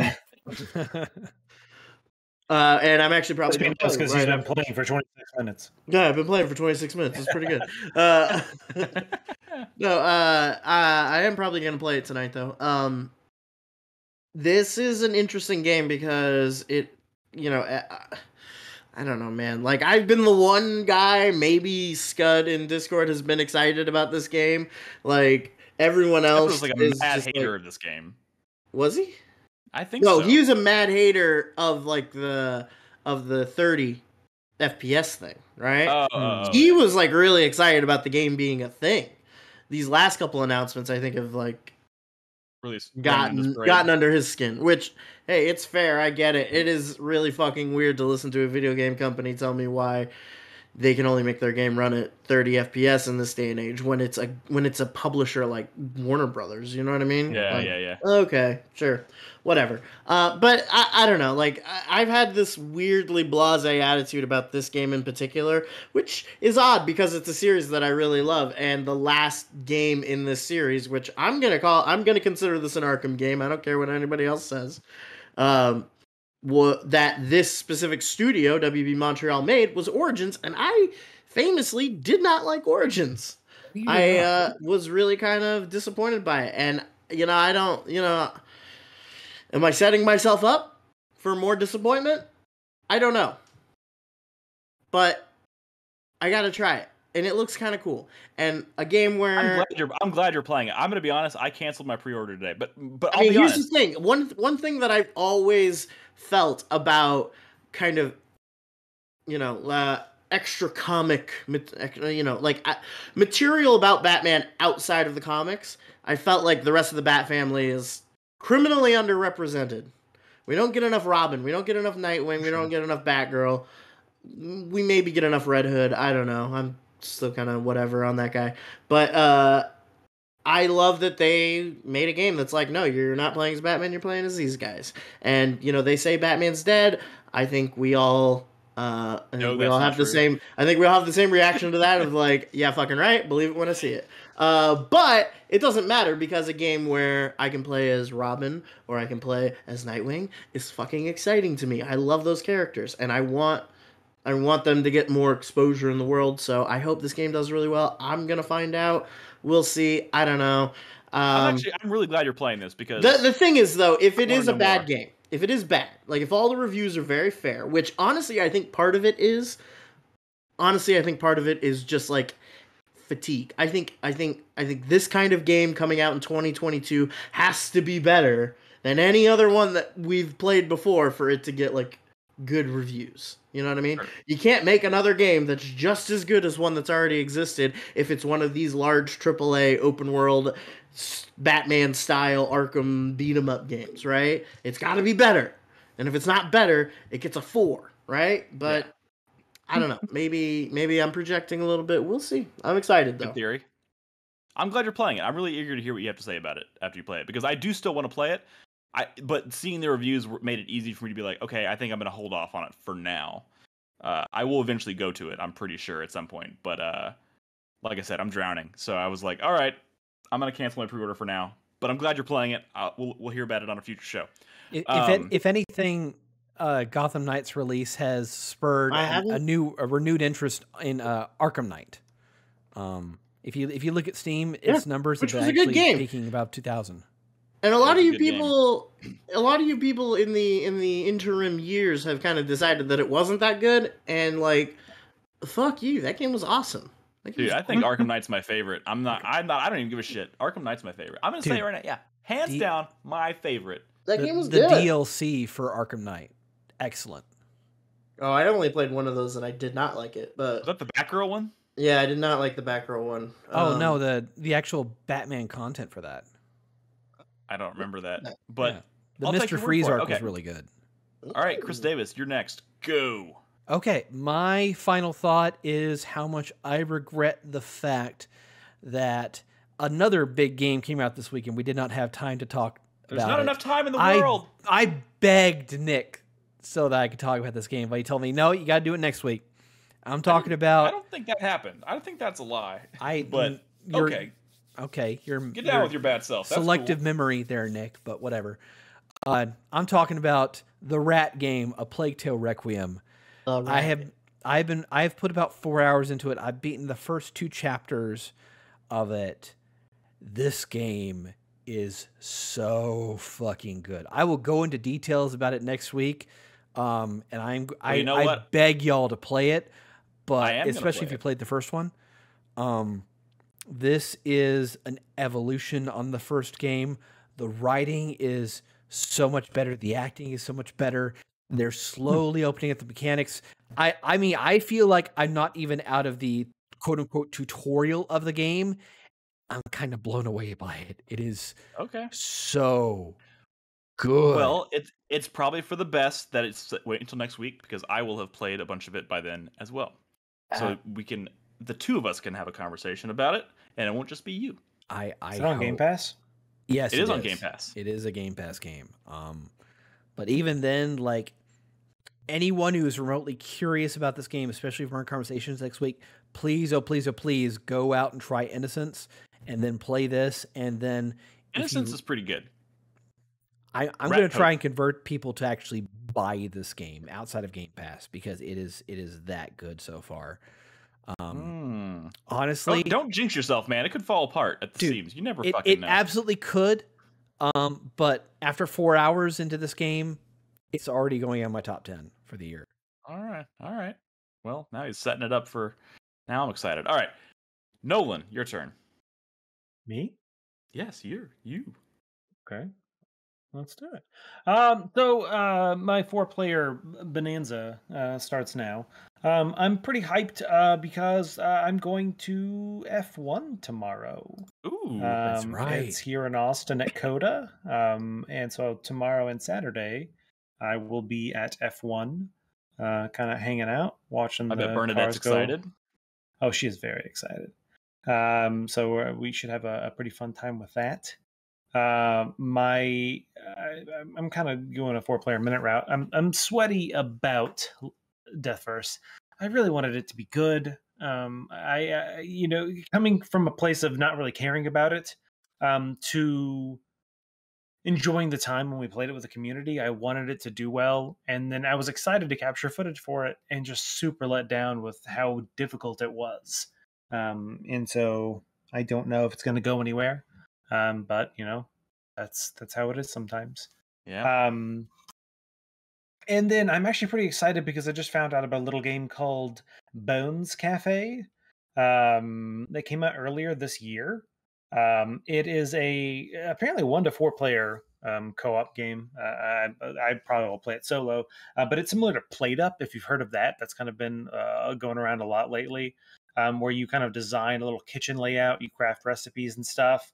Uh, but the shtick in this is, is that you can poison your customers uh, and then uh, use their remains to create new recipes. But then you're also kind of a necromancer uh, and you can bring the dead bodies back to life uh, to help you in your kitchen. Uh, you can make them cook wow. for you. Uh, yeah, it's pretty interesting. I, I, would check it out. There's a demo on Steam for free uh, if you want to uh, check that one out. I, I might try that. So it's it's pretty. I'm excited for that one. I feel like they're legally obligated to call one of their dishes Soylent Green.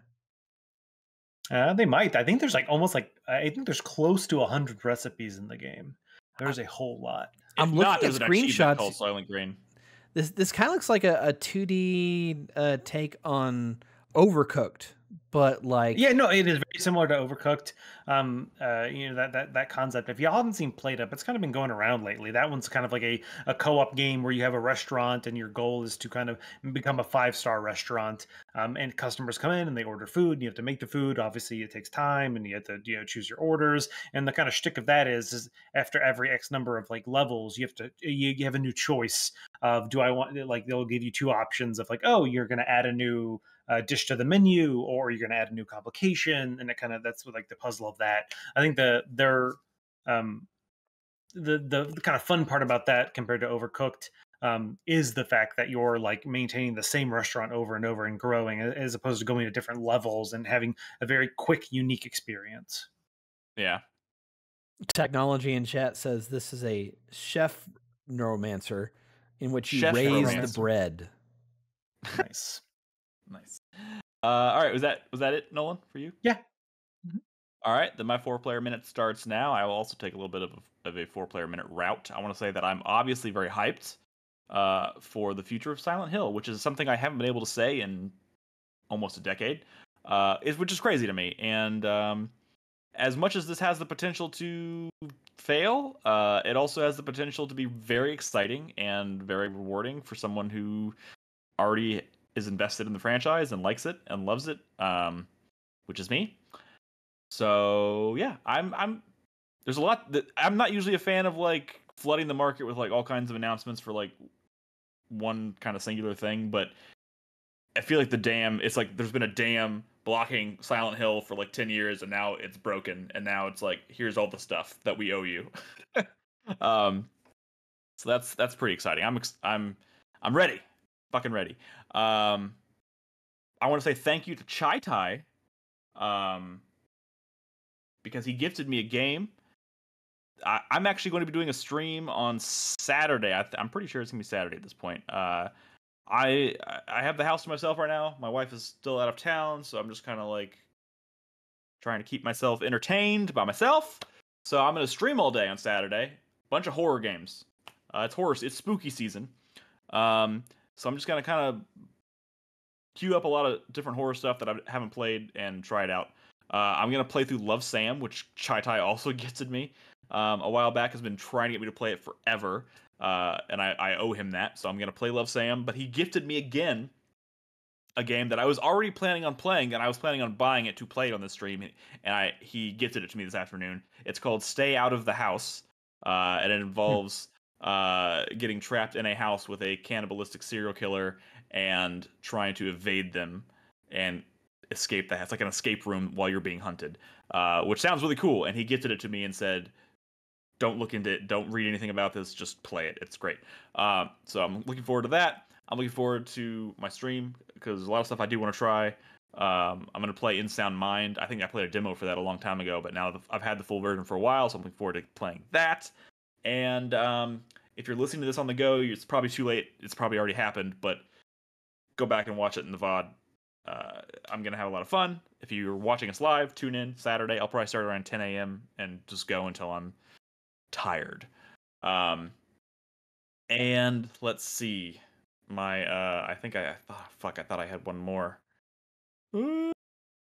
No, I'm gonna leave it at that. I think I, there's so many thoughts. I mean, fuck, I'm excited for Resident Evil 4 remake. I think that speaks Same. for itself. It looks great. Um, and that's it, guys. Thank you so. I know it's been playing catch up. There's a lot of stuff to cover tonight, so maybe probably a little bit on the longer side uh, this week. But I want to thank everybody who tuned in to watch us live. I want to thank anybody watching on YouTube uh, after the fact or listening to the show on the go. We really appreciate it. Um, if you have not yet, please join us in Discord at discord.gg slash four player. If you're new, stop into the introductions channel, say hello. We'd love to hear from you guys. And um, uh, fourplayernetwork.com, you can find us there. Again, if you have if you want us to answer a question during the pre-show next week, make sure you leave a comment on the post for this episode, or you can go to the the video on YouTube, or you can go to the submit a question channel in Discord. I'll check all of them and I'll pull questions from everywhere. So uh, make sure you do that before next Thursday. Um, but in the meantime, guys, uh, be good to each other, be safe, play video games, and we'll see you next time. Good night. Bye. Jesus.